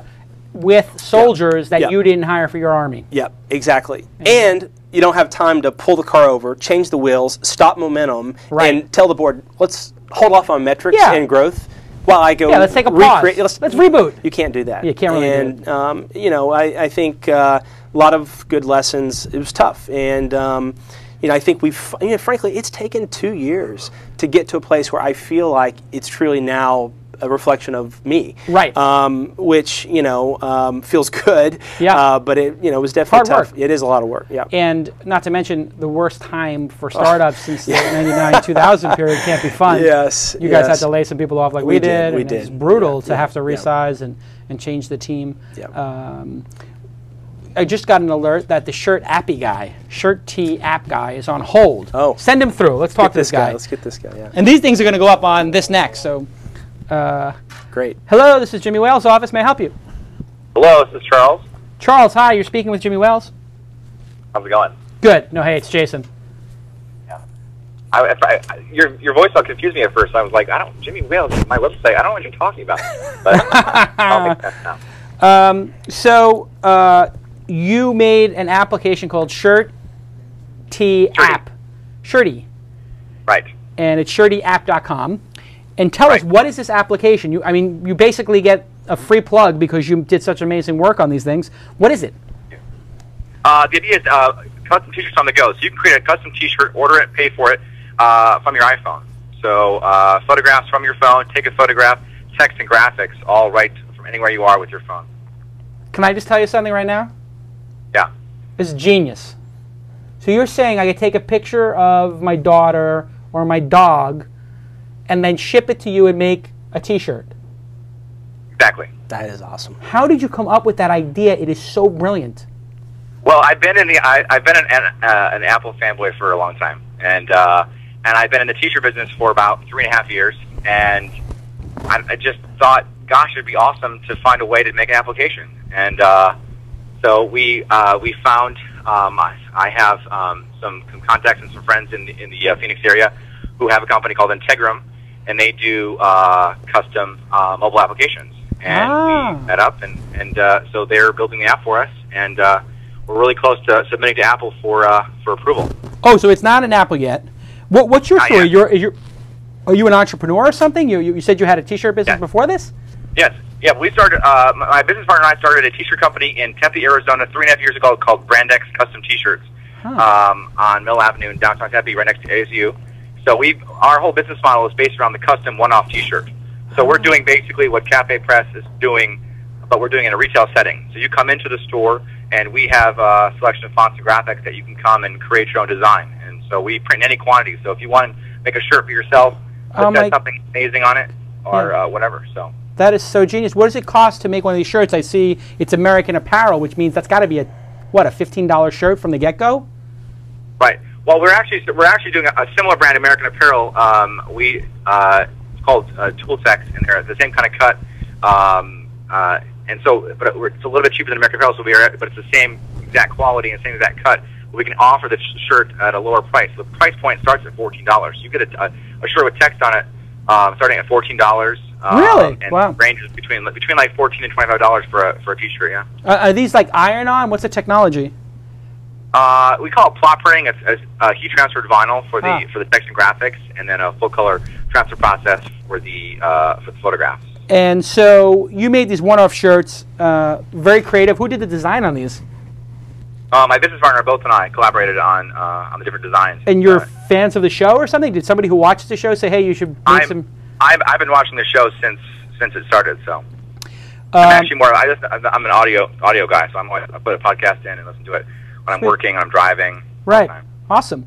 Well, you sent four shirts, and I want to keep them all for myself, but uh, I, I think I'm going to give them to the audience. And Tyler is really pissed off, but Tyler wants a set of these shirts. Can can any, can anybody just buy these shirts at Brand X store or something? Oh, How can people buy these? I, I'm planning on. I, I, I reserved for myself a twist t, uh, twistshirts.com. Okay. And I'm going to set up a little simple, a really simple uh, uh, shopping cart there, so people can actually. And I'm going to upload them. People could actually could uh, could uh, buy them from there. Uh, Perfect. So- and so Tyler gets done right uh. Tyler gets what, like a two percent royalty or something? yeah, I think you probably should, right? I think Tyler should get like a three percent royalty. I mean, these things are going to sell like hotcakes. We need to have a. We need like a, the logo for for inside some Tyler or something to put up there too. Absolutely. Uh, make it. Um, This is uh, the Entrepreneurial Show. And I think we just took your website down because so many people went to it. Um, I am going to give these four shirts away to somebody who says, Uh, thank you to our sponsors. Everybody knows the sponsors' names at Bing, at DNA Mail, at Ustream, at WebSpy, and at Pe- Power VPS. Those are the five you need to say thank you to. Thanks at Bing, DNA Mail, at Ustream, at WebSpy, at Power VPS for supporting This Week in Startups. Put the pound twist hashtag on there. And uh, do you have a, um, uh, uh, a, an, an, uh, Twitter account, the handle? Yes, at Shirtee App. Okay, and then at Shirtee App. You can add at Shirtee App. Whoever uh, thanks the audience, whoever thanks them, I am going to uh, um, go ahead and give you one of these shirts. We have four of them, so four people get to win. Always thank the sponsors. It is your Geary to do so. Uh, let me thank you again, Charles, for doing this. It's very cool of you and very entrepreneurial of you. Uh, this business, you're going to raise money for this business, the, the uh, Shirtee app business, or That's, well, it's actually it's actually a larger plan to be kind of become. We have retail, we have we'll have the mobile application, and we're really close to having our web app. So we're having to hoping to have a, a our company was based upon three three points of revenue: retail, web, and mobile application. Ah. So uh, there is there's a bigger there's a bigger plan in place here, and we're just trying to pull it together. So um, I actually found your show by talking to a, a really uh, great entrepreneurial gal named uh, Francine Hardaway here in Phoenix, and uh, she turned me on to your show uh, because I was uh, talking to her about finding uh, funding eventually for my company. Great. Uh, well, we don't have Open Angel Forum in uh, Phoenix yet, but people have pinged me about the possibility of it. Uh, we just had Boulder, so a lot of great, yeah, good. a lot of entrepreneurship here in, in Phoenix. It's, it's awesome. Awesome. Okay. Uh, well, thank you for uh, the shirts. We're going to give those away to uh, the users. Hopefully, you can send a couple more here for Tyler and myself. Uh, I will. As many as you send, we will give away. And uh, thanks again. And uh, good luck with your business. And uh, can I ask? Um, we just. Oh, so anyway, I'll, I'll let you go. Thanks a lot. Okay. Cheers. Bye. We have a new social media ninja here. Is that correct? We have somebody working here who's got the title of social media ninja. So we have Kenny Chen, the professor, I think they call him. Is he called the professor on Kevin Pollak show? And I, why, why don't we have the um, video of the crew out there? Do we have a crew cam outside? I would like to take that from Kevin Pollak's show. Can we put the crew cam up or no? We have no crew cam? Okay, no problem. So we have uh, Kenny Chen. Then you have Emily, who just started, took over for Alex, to do an excellent job. And then there is a social media nec- n- social media ninja, Natasha, who's working here. So we got three people working here at This Week In Studios, which is a separate company. It's not Mahalo. ThisWeekIn.com is a separate company. CEO going to be running that company. Probably going to raise a little bit of money for it, spin it out. My show's part of it, but I'm not the CEO. Uh, and she is uh, responsible for all the tweets and the Facebook. So you got to get to know Natasha uh, at thisweekin.com. I think it's Natasha at this at this weekend. Emily is at thisweekin.com, and there's a show after this one, and there was a show before this one. We did this week in Twitter before my show, and after the show we're doing this week in Android. That's three this weekend shows in three weeks, and you're doing this week in Insights. I like it. This week in Insights. All right, let's go to the news segment. Everybody loves the news segment. Let's bring in Lon, Lonnie Donnie. Lonnie Donnie. Whoa, Lon is looking so sharp in his blazer. Lon looking so good with his blazer. I do what I can. What happened with the hair gel? You used to have a little hair gel. Used to, it used to be tight. Now it's poof. You know, I got I just went and got a haircut last week, And and, they left it real poofy. I thought I told them nice. to a take it all off. You like the- you like the poofy? I like it. It's a good look. All right, fair Yeah. enough. You look good. Thank you. How was Sundance? Welcome back. Oh yeah, Sundance was a lot of fun. We only got to see a couple films because it's so you have to really get in Hustle. line for hours and really hustle around town. And Yeah. uh, but we got two great films. Both the movies I saw were really what was your good. favorite film? Uh, the first one we saw was called Blue Valentine. The Weinsteins have picked it up, so it's going to come out. Um, amazing, amazing. Good. Ryan Gosling and Michelle Williams, uh, and it's sort of you see them as they meet and fall in love, and then you flash forward to five years and you see their sort of marriage hitting a rough patch, and you Oh, switch back and forth. It was really well done. The old juxtaposition. Yes, so right, so you're literally seeing the It's the memento. It's the memento of marriage. Yeah, it's sort of like the memento of marriage. Memento Except of not marriage. backwards. You just switch all switch back and forth. Let me ask you, since you're here, and we're going to turn this into this week in film for a second. Oh, Um, love it. Why is The Hurt Locker not winning anything? Shouldn't that win Best Picture or Best Director or Best Actor. Uh, my two favorite films this year were Inglourious Basterds and Hurt Locker. So It's I would be happy to see either of them win. Uh, I think Bigelow's still in the running for director, and she's won a lot of critics awards. There was, I want to say, it was the L.A. critics. Uh, it swept, where it was Right. Hurt Locker Best Oh, good. Picture, Renner Best Actor, Bigelow Oh, uh, LA Best Film Director. Critics. Well, that's because LA Film Critics is actually film critics who understand film. Right.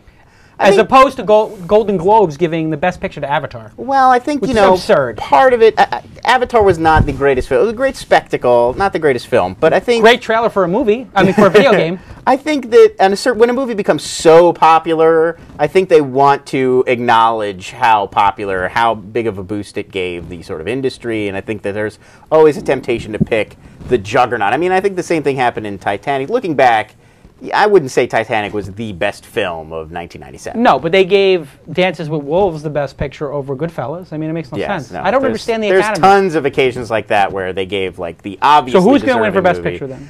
I think it's going to be Avatar. I have to say. I think I think there's a chance Avatar will get Best Picture and Bigelow will get Best director. I saw Up in the Air last night. What do you think of that? I did not like Up in the Air. I felt it was a little It. bit. Um, uh, it was just a little bit too preachy about, oh my God, we're laying people off, and It's also just, just so on the nose. I mean, every single conversation is like, you know, life's better when you have company. It's like, I, I get it. I get that that's the theme you're going for. You don't have to really, like, kill me with it every Yeah. single scene. Well, a little Bo- subtlety. I think Jason long way. Reitman is a, a deft filmmaker. Like he makes a good film. I'm not saying it's the best story. Whatever. Uh, he just he seems to do a good film that you can nod to and enjoy.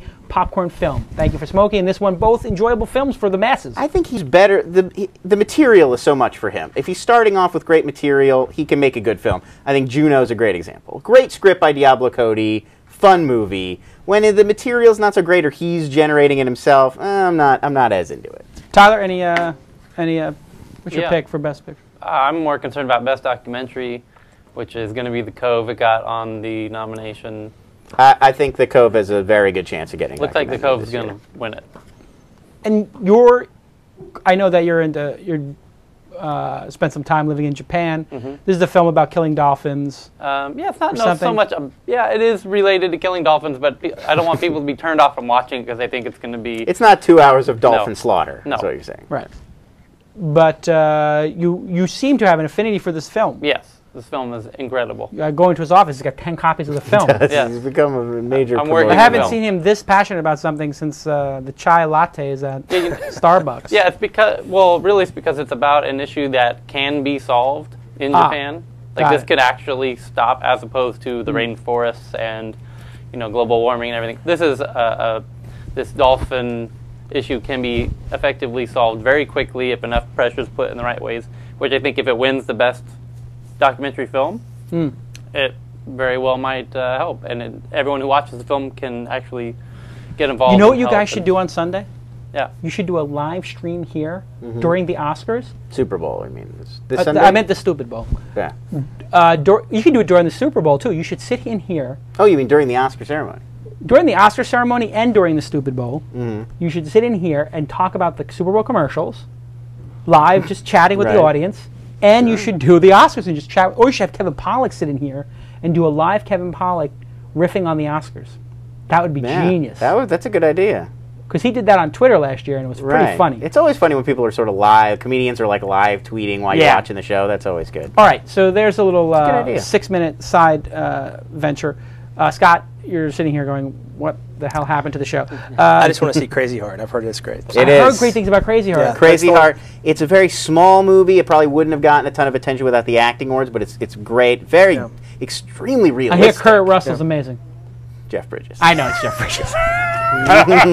I heard The war scene's great. 50, Yeah. 50 something actor who's It been unappreciated. Kurt Russell needs a part like that though. No, he he's does. a great actor, and Right. he gets people don't really recognize it because he did so many like Tango he's and got Cash type movies.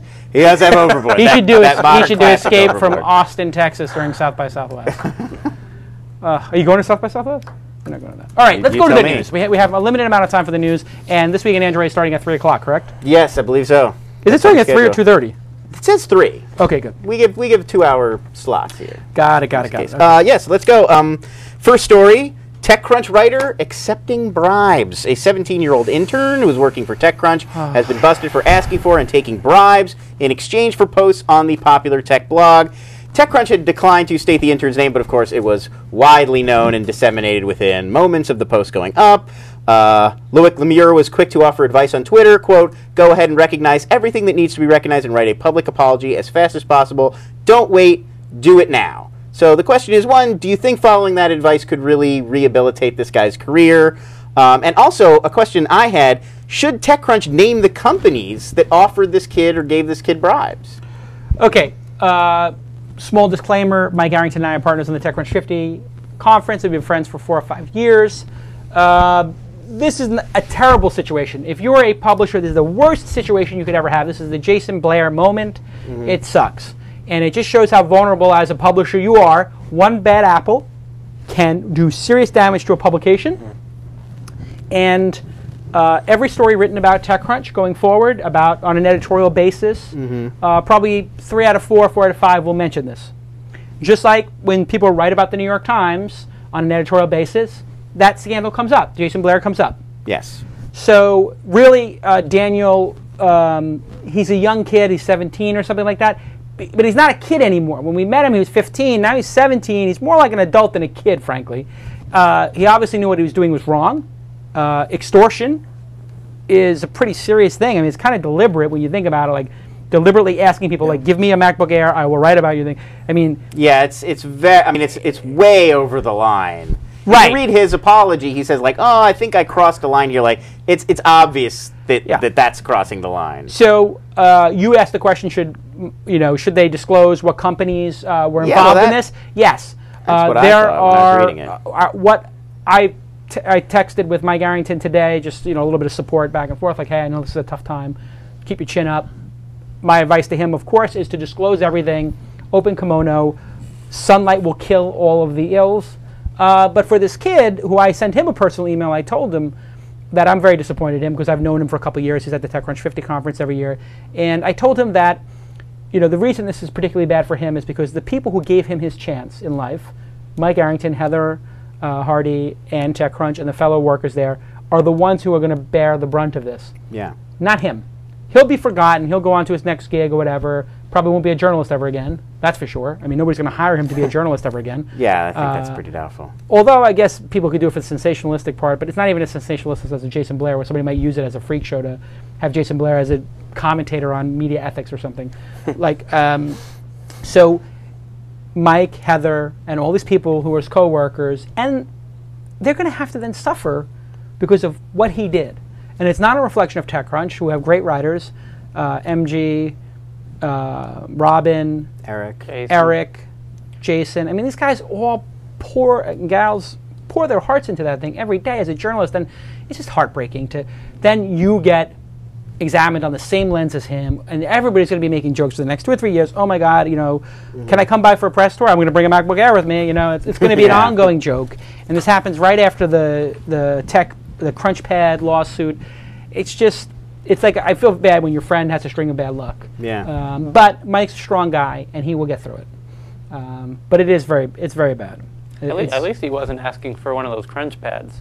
That would have. He's Yeah, demanding I a know. crunch pad. Well, that's that was sort of my joke about it. Was you know like I have a MacBook Air. I wouldn't even play Hulu without skipping. I don't think that this is the. if you're going to extort somebody, get a Tesla. Um, but no, I mean they, they they immediately turned off all their posts, all of his posts, and I guess they're, what they're probably doing right now is an investigation. Yeah. Did well, this? Did he get? You know, is it two paid posts? Which it seems like there's one he they know he did, and there's one that. Yeah, he- according to the TechCrunch It post, seems like there's two. There's at least at least At two. least two. because it says there's one that they caught him In making this offer and Right. hadn't received anything, and there's another one they know that he actually exchanged goods in order for a Right. placement on TechCrunch. So then, what is number three, four, five, and six? What is there? And that's probably what they're trying to figure out. Now, for the companies who did this, if a, if a company of note did something like this, then it starts getting into like a whole nother level of scandal. Well, then I think you really do. We, the public, has a right to know what companies out there are buying Coverage. press. Yeah. Yes, Absolutely. So if you, had, God forbid, it was, you know, a top company was trying to buy coverage. Ugh, you know, then it becomes Yeah. like those scandals where in Germany they were doing, some of the companies in Germany were doing uh, like, I think it was some of the car companies. I can't remember. Somebody can Google it or Bing it.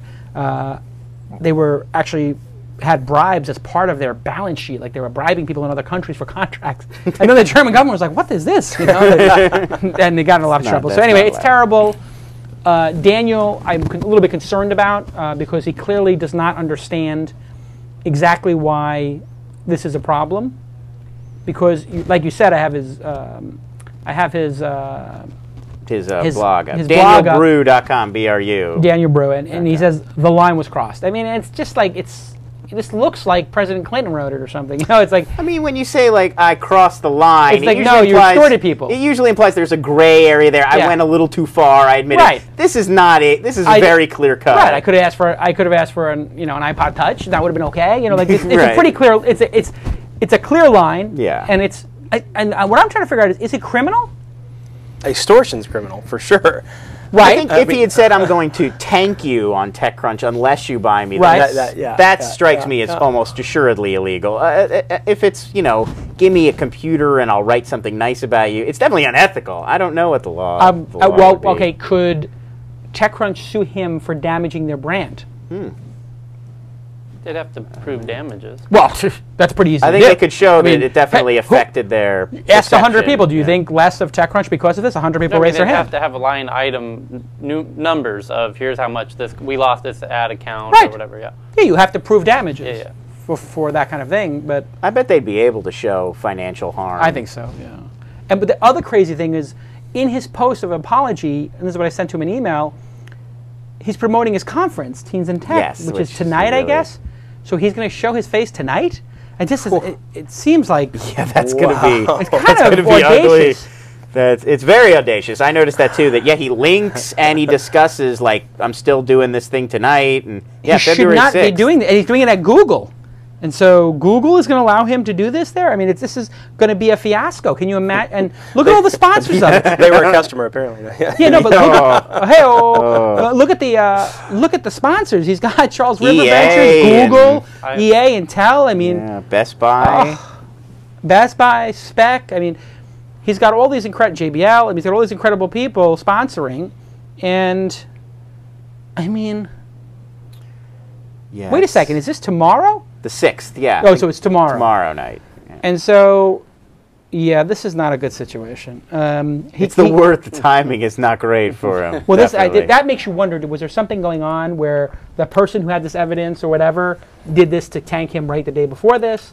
Um, but I, uh, of course, I'm going to stay in my guy's corner and support him. And uh, my only advice is just every piece of information you can put out there. And to, to Daniel's parents, if he's still, I, when you're 17, you're still Well, I was, but I also wasn't hosting tech conferences. no, so no. But when you're 17, you're or you're not legally an adult in California. I think It's a question for the chat know. room to go look. Ask it Yeah. on Mahalo Answers. But are you a legal adult think- at 17? Like, I is think he? so. I Actually, I think 17 is I think because I think cutoff. 16 is. So I was going to say, I was, you know, for his parents, you know, you got to. This kid's got to go to therapy and talk about this thing. But I mean, as an adult, he needs to go to therapy and talk to some person who's qualified. I mean, I should have Mark Goulston talk to him and say, like, you know, like you, you got to work through this because you have some serious.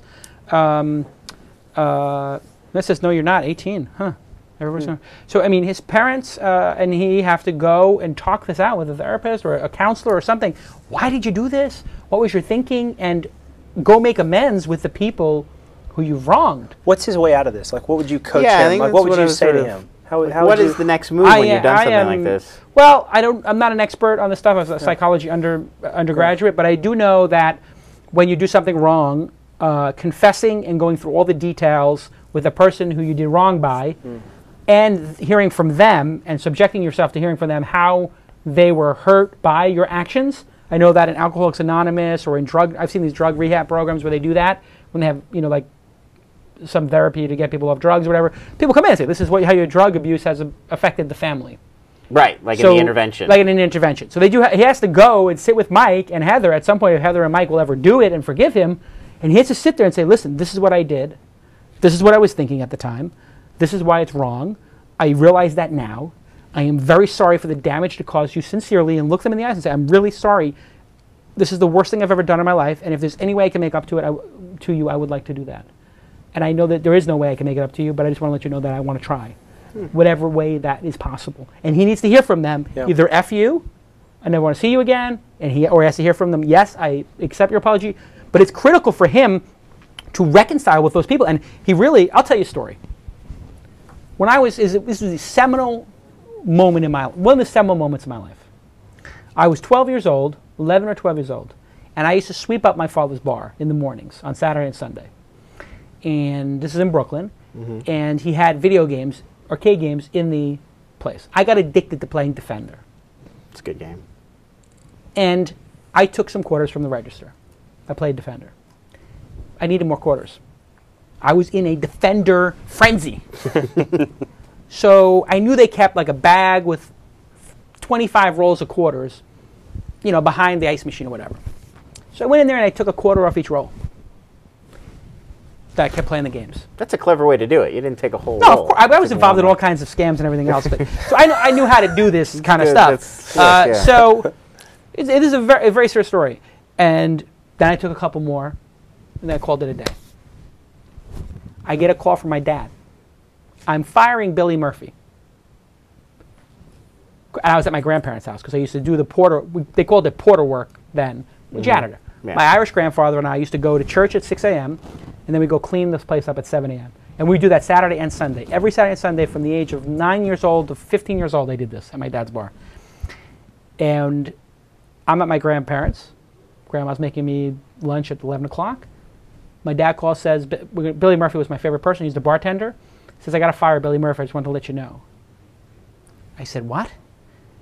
What? Why? And he said, Firing Billy Murphy because he stole money from the bar. I said, Really? And he, he said, Yeah. We, Billy Murphy took quarters from the register and from all the quarters in the back thing. It's stealing. It's wrong. We're, we're going to fire him. So I just want you to say goodbye to him. Mm-hmm. And I just, I, I turned white. I felt this hmm. emptiness in my body, like the feeling you feel if so, you find out somebody's died that you loved or something, just this total emptiness. And I said, I did it. And I started crying. He goes, Well, you have to go and apologize to him right now. My dad picked me up. He stopped what he was doing, picked me up, mm-hmm. brought me to the restaurant at 1 o'clock. Billy Murphy came out, and I started hysterical crying. I took the quarters. Billy Murphy put his arm around me, took me around the corner. We sat on a, on a bench. I sat there and cried for an hour. And he said, Listen, it's okay. You made a mistake. I'm not being fired. Hey, my dad's going to fire you. I was like shaking. it was incredible. And I never stole again. I knew that was so wrong and that there were ramifications of stealing. My dad, I, you could say that was the most torturous, craziest thing you could ever do to a kid, traumatizing. But you know what? That traumatized me in the right way. Right.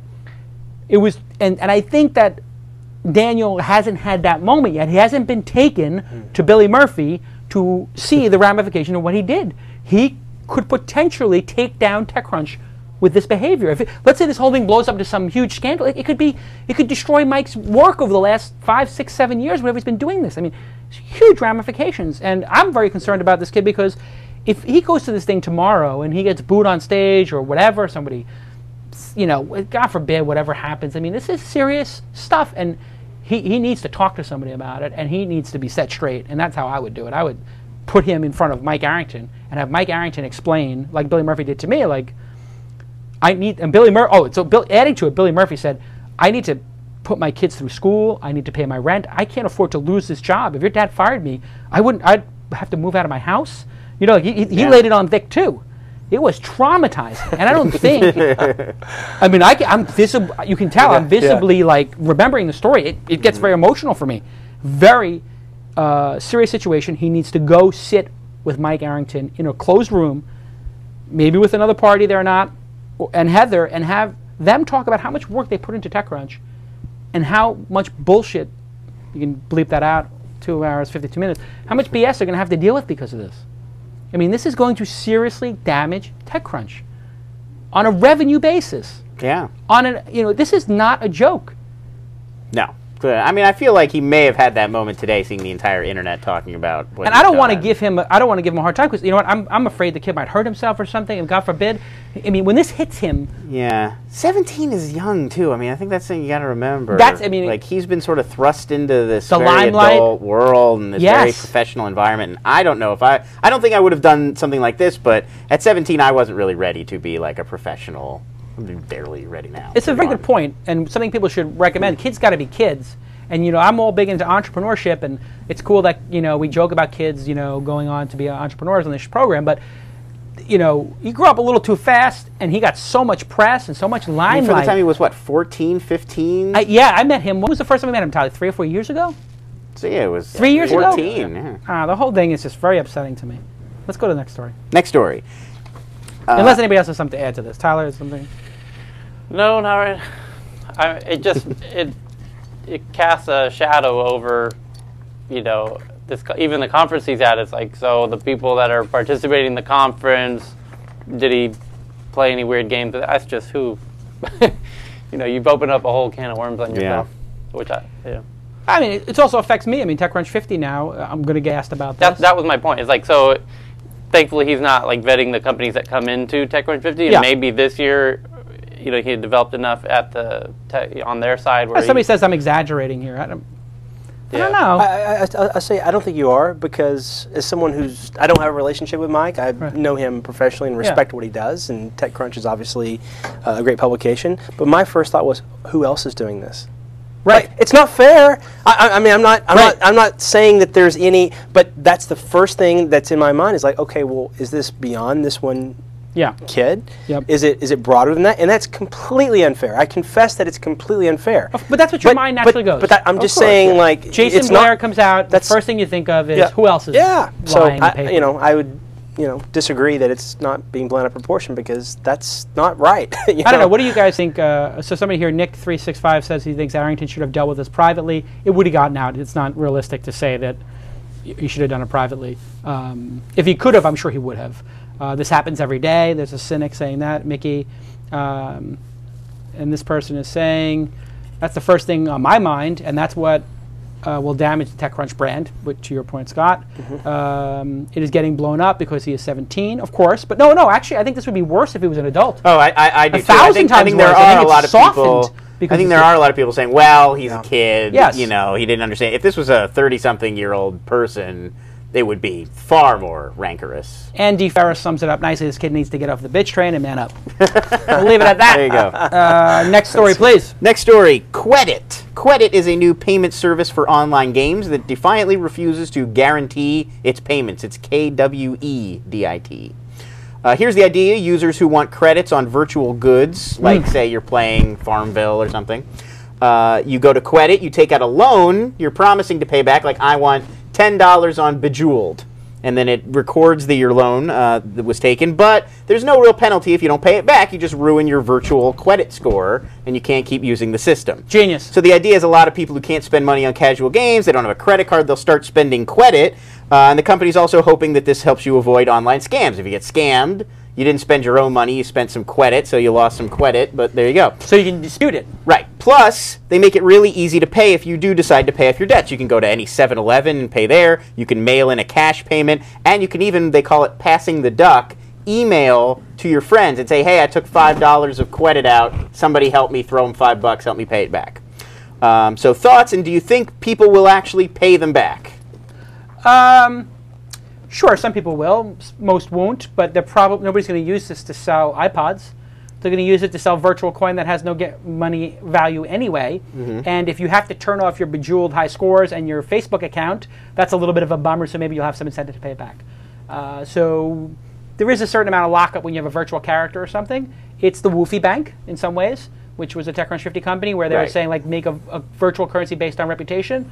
What they're saying here is have a reputation system, I guess, in some ways. Right. Well, so I mean, you will lo- you will ruin your credit rating if you Right. take out a lot of loans. And I think they have a set number where if you take out this amount of credit and you don't pay anything back, Right. you just basically shut So down basically, what they're doing is they're they're extending credit. They're giving loans Mm-hmm. uh, with a limit.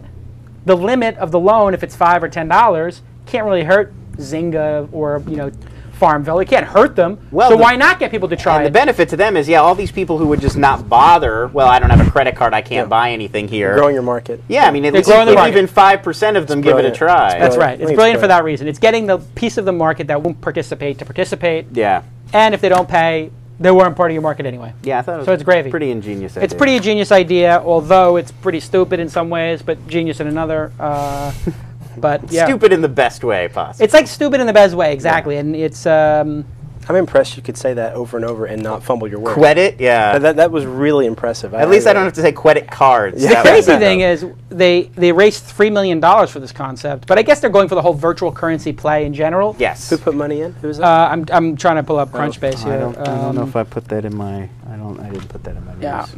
I mean, I, it's so funny because now every time we go to talk about something, I think of a Daniel joke to make. Like, you know, oh, put money in. Oh, Yeah.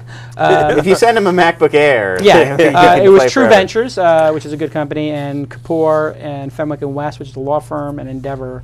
Well, I think the idea is you you can use it just as a sort of payment system. You can pay in a credit card, and you can use this just like PayPal. but Mm. Yeah, so that this is like their hook. This is their hook. Okay, next story. Next story uh, Apple may be banning location based ads. Apple has posted a warning to its iPhone app creators and developer forums, suggesting that they cease submitting apps that make use of lo- user location just to target advertising. The notification reads If you build your application with features based on a user's location, make sure these features provide beneficial information. If your app uses location based information just to enable mobile advertisers to develop targeted ads based on a user's location, your app will be returned to you by the App Store review team for modification before it can be posted to the App Store. So, is this an example of Apple actually looking out for their customers, ensuring apps only ask your location if they are going to help you, or is there some other kind of hidden agenda, an attempt to control how you use their platform? Bing, bing, bing. Yeah, what do you think, Scott? I, I think it's got to be the latter. Mm-hmm. I, I um, Yeah, what's the downside? I- what's the downside to? I would rather get apps that were. If they told me every ad on your iPhone is automatically geo targeted, I'd say fine. Who cares? I don't think it's a privacy thing because they don't know. Right. It's, I'm not going to click on it anyway. Well, you're on the app and the little message comes up like, do you want, this app wants to access your location. Yeah. You think you're going to get some sort of benefit it. out of that, as Right. opposed to just we're going to target advertising right, but more if, effectively. if they're giving you better targeted advertising, they can give you a better application for free. So I'm all for them making better targeted ads, as long as they don't screw around with my privacy. I agree. Yeah. Yeah, and I, I can always opt out of it by turning location services off in the main menu, or Mm-hmm. by not allowing it in the first place. So I think this is Apple uh, is going to regulate their ad network, and they are going to charge a carry fee for people who put ads, so they could block AdMob technically. I think according to their terms of service, like ad, Right. you, they could say any ads running through the our system have to pay this amount per thousand, or use our system. So they could put a tax on it, just like Facebook is going to put a tax on Zynga and other people doing games soon, and they're going to have Facebook credits. Um, yep, it's coming. Fair enough. Yeah, go ahead. Next story. Yeah. Uh, oh, it's 3 p.m. We got one more story. Let's talk, we'll talk about Facebook. Yesterday was the sixth birthday of Facebook. To celebrate, Sixth birthday since they launched or became open to the public. I believe it's since they became open to beyond Harvard, maybe. Yeah, That's I think so. amazing. It really is. They're calling it their sixth birthday, Okay. which would be yeah. so Uh, somebody in the chat room check if the six-year anniversary means the six years since it was launched at Harvard for like just .edu. 04, so I think that's when it launched. That's probably right. Yeah. Okay. It seems like it's just it was launch, like when Yeah. it went online. The Facebook back then. The Facebook. Uh, and to celebrate, the site has launched a long-awaited redesign. 80 million of its 400 million users can see it currently, or as of the time I wrote this news. Uh, the most notable change is the inclusion of notifications prominently at the top of your page, which has already been part of the iPhone app for a while. Uh, search has also been improved. You're going to see the friend your, people's names come up based on how closely related they are to you. Ah. So they're in your network, if they're friends of people in your network, and Got so it. forth. Uh, founder Mark Zuckerberg has also promised the company will be developing new features at a faster pace, promising something cool once a month. From this point forward, TechCrunch is already guessing that this may be a new featured webmail product. That's So- a no-brainer. I mean, MySpace did that. Yeah. Good. Right. So, what do you think of the new redesign? If you've seen it already, and do you think they can live up to a promise of once a month something cool? Um, they can easily steal. I mean, innovate once a month with some, no. They can easily steal something from Twitter once a month. Right. Uh, the question is, can Twitter keep producing something interesting and worthy of Facebook stealing every month? I mean, he's Zuckerberg has become the Borg. They just take everybody else's good idea and steal it. Uh, they can, and they have a lot of cash now. They've got momentum. They've got 400 million users or something like that. And so, yeah, they'll, they'll steal something every day. I think. I, the question is, when are they going to do something innovative of their own again? That's my question. The last innovative thing he did was the app platform, and what, what's innovative since then? Everything else since then is stolen from Twitter uh, or another service, and I, you know, all their redesigns have to do with trying to um, beat out Twitter. I don't really see a lot of original behavior out of that company anymore, I, and that would concern me, because you know you, you can steal your way to a certain level, but I don't think you can get to permanent success just on that alone. So, I don't know. I'm not a fan right now. Right. And do you think uh, is this going to help them move past the privacy settings fiasco? Is that dying down? Are people still upset about that? Still plenty of lawsuits going on about it, from what I understand. Uh, but general public doesn't care about privacy Yeah, it until it gets compromised. It just seems like that that hasn't really taken off beyond the sort of tech industry people who In actually general, know privacy about this stuff. is uh, a soft issue, Mhm. Like pollution in some ways, that people don't care about until people start reporting. You know, like, oh my God, autism rates are through the roof, or you know, breast cancer rates are through the roof, and then all of a sudden everybody cares about pollution.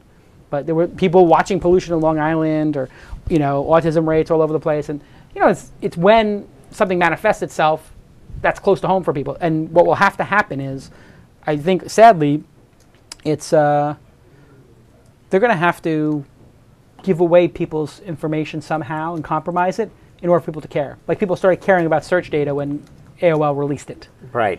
and then it became like a front and center issue. Mhm. Um, what do you think?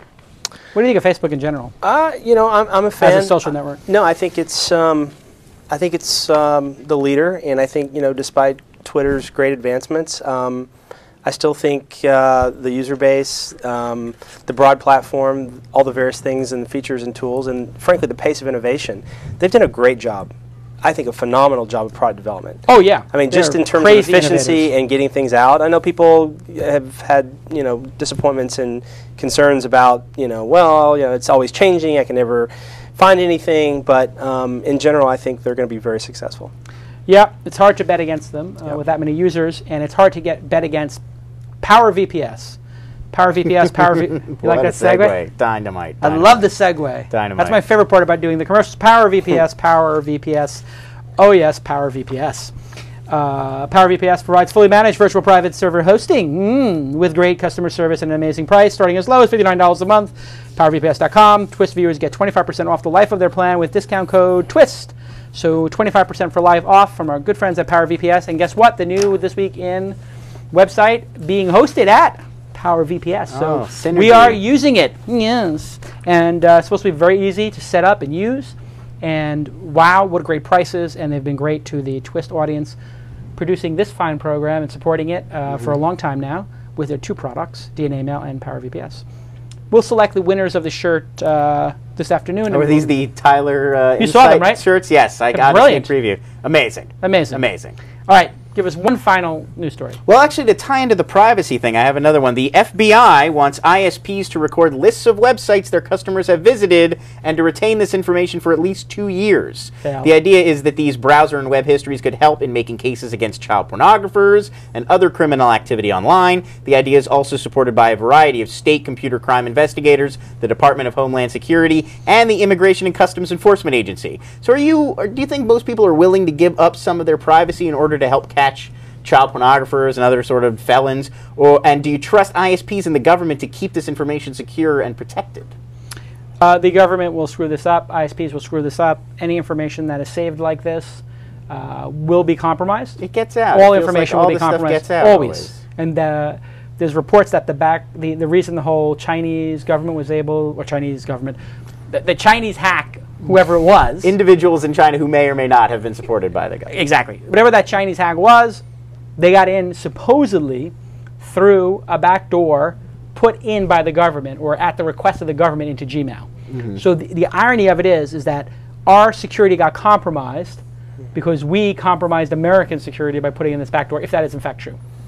Uh, it's a terrible idea, and Americans are slowly seeing all of their rights get taken away.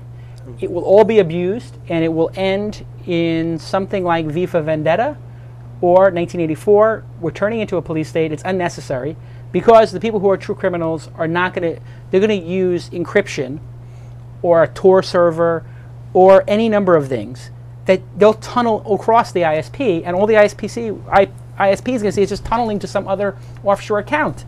So basically, everybody's got to give up their privacy and freedom, and then the people who are the true criminals are not going to get caught because they're going to they're too smart. Just libraries and universities are where Well, forget that. I mean, you, I could just pull up outside too. your house with my laptop, Yeah. get on free Wi-Fi, or I can buy a you know free cell phone card to do that, or I can go to a library or a, or a cafe, or I can just use simple IP masking software through any of these anonymous services, and it'd be fine. What should really happen is um, people should start releasing uh, uh, products that anonymize users, so that it good users should start anonymizing their activities so that these things just get forgotten about. People don't do it. In Europe, they would never allow this to happen, uh, and we've got to take it more seriously as Americans. And you know, as scary as it is for you know things like 9/11 to happen, or this dumbass who almost blew up a plane with his underwear and wound didn't up really even get close torching to his blowing up a plane. It was pretty torched his balls or whatever he did. Yes. Makes my life Um, miserable through the security lines now. It's unbelievable. So now we all have to suffer for because this idiot doesn't know how to set off a bomb or Yeah. you know puts Yeah. a bomb on the thing and everybody's on. It's just ridiculous. If somebody's going to, there's 300 people on a plane or 200 people on a plane, you could kill 200 people very easily. There's a million ways to do it if you're if you got your mindset on. it. That's not going to stop it.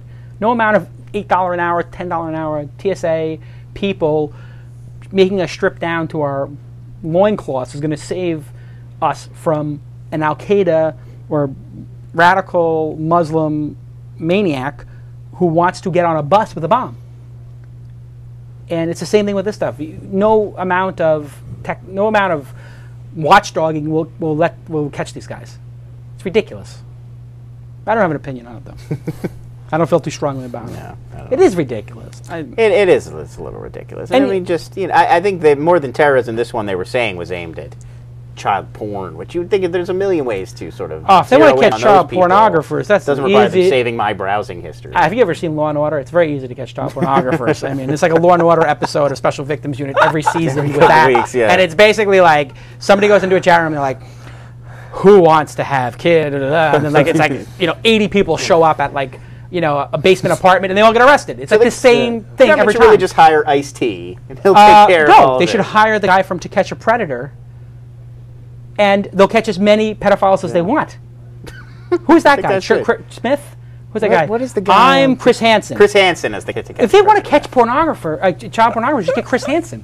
That guy, he walks down the street, the five of them follow him. To be fair, I think they're He's the already Pied they're already caught when he's gone. The, the staff catches him, and then he just sits across the table like, "What are you doing here? Why are you here?" I love that. It's a great show. I could watch that forever, only because of the reactions of. Yeah. I mean, it's very sad. Obviously, Yeah, don't get me wrong. I don't mean to make light of a situation, but the level of stupidity in criminals is just unbelievable. Well, I like that they always it's deny, deny, deny, and then they reach that moment where they realize I am uh, genuinely Yeah. busted, and then the apology begins. Like, Right, and then they try like to that explain two minutes of like I'm going to be the first guy to get away with this. Unbelievable, unbelievable. It is ridiculous, and uh, yeah, I mean, it's so easy. They don't, they don't need to compromise the entire country's privacy Mhm. to catch a predator. It's true. Chris Hansen does it every Hansen's week. it. Did you hear about the one guy on Chris Hansen's show who killed himself? Yes. Well, they did that South Park about it afterwards. Oh, they did a South Park on it. Yeah, you didn't see the South Park with Chris Hansen? Oh, it's genius. Oh my God, I haven't seen that. I don't Why don't you take a seat right down here? They just they got him. they him they just rights. they got him. They were getting beautifully. This is the crazy really story, good. though. We talk about these kamikaze things. Uh, I don't know the details of it, but I will summarize it uh, as such. Somebody can correct me in the chat room. But Chris Hansen busts a guy. He runs out, Mhm. or something like that. He went to McDonald's or something. Yeah, it was later on that later on and evening. Or yeah, well, I, I guess they busted him, interviewed him. Yeah. Then he went home and killed himself, and then they sued Dateline or NBC. Is it NBC Dateline? Yeah, it's Dateline NBC. Uh, well, it's its own show now, I think, but it Yeah. started on Dateline NBC. Yeah. So anyway, uh, and I think they got sued, and I think they settled. I don't know. Scott, thanks Something for like being that. here. Yeah. Congratulations on the big And acquisition of thank you. StyleHive. Thank you, thank you. Uh, Curate Media Yep. and on and Twitter. Series C, I don't think we even talked about that. And we closed a Series C. Oh, you close Series C. So you got more money. Got more great. money, yeah. Money's good. Yep. Blah blah blah. Everybody's got. You know, all these Yeah. companies are raising money. That's not a big deal. I think the StyleHive thing is a bigger deal. You It got doubled is. your traffic footprint, which is big. Yep. You got the, all that knowledge and stuff like that. Uh, we look forward to hearing about Curate Media. Absolutely. Thanks. Uh, Scott uh, Simcoe, uh, who is the super fan who blogs, will be checking in with you from time to time to Mm. Find out what's going on with ThisNext. Okay. You all get to read the blogs. We're trying to do a thing here where we combine the podcast with a fan blogger in between the shows. Hmm. So if you're a fan of the show This Week in Startups, go to thisweekinstartups.com and read the posts in between. That's what we're trying to do is to give you something, a little bit of candy in between the Yeah, shows. it's really interesting because he goes back through all the people we've talked to on the show and like gives you little quick yeah, updates. Little, little geek stack update Yeah. or whatever. Uh, Maroon Door guy from last week. Remember the Maroon Door guy? He Mm-hmm. can't stop emailing me. All right, let me just give a little disclaimer to people who are on the show. If you're on the show, I'd love to help you. The show is here to help you. But I, I don't work for you after you've been on the show. I can't introduce you to Mark Cuban or Elon Musk. I can't take you on a tour of Silicon Valley. I can't tell Mike Arrington to blog about your company, insert joke here. I, you know, it's ridiculous. I, he, he emailed me like 17 times. I'm like, it's very cool. I'm, I'm, Yeah. I hope Maroon Door is, does a huge job. But as I told him on email when I got the seventh email, you have to do this, not me. That's what entrepreneurship is about, making it happen. The entrepreneurs who get it done are the ones who actually do it. Every journey has a first step. The most difficult one is that first step. By watching the show, you've taken the first step. Disconnect from the matrix, start a company, join a company. We'll see you next time on This Week in Startups. Thanks, Tyler. Spiked out, I could trip a referee. Tell by my attitude that I most definitely from.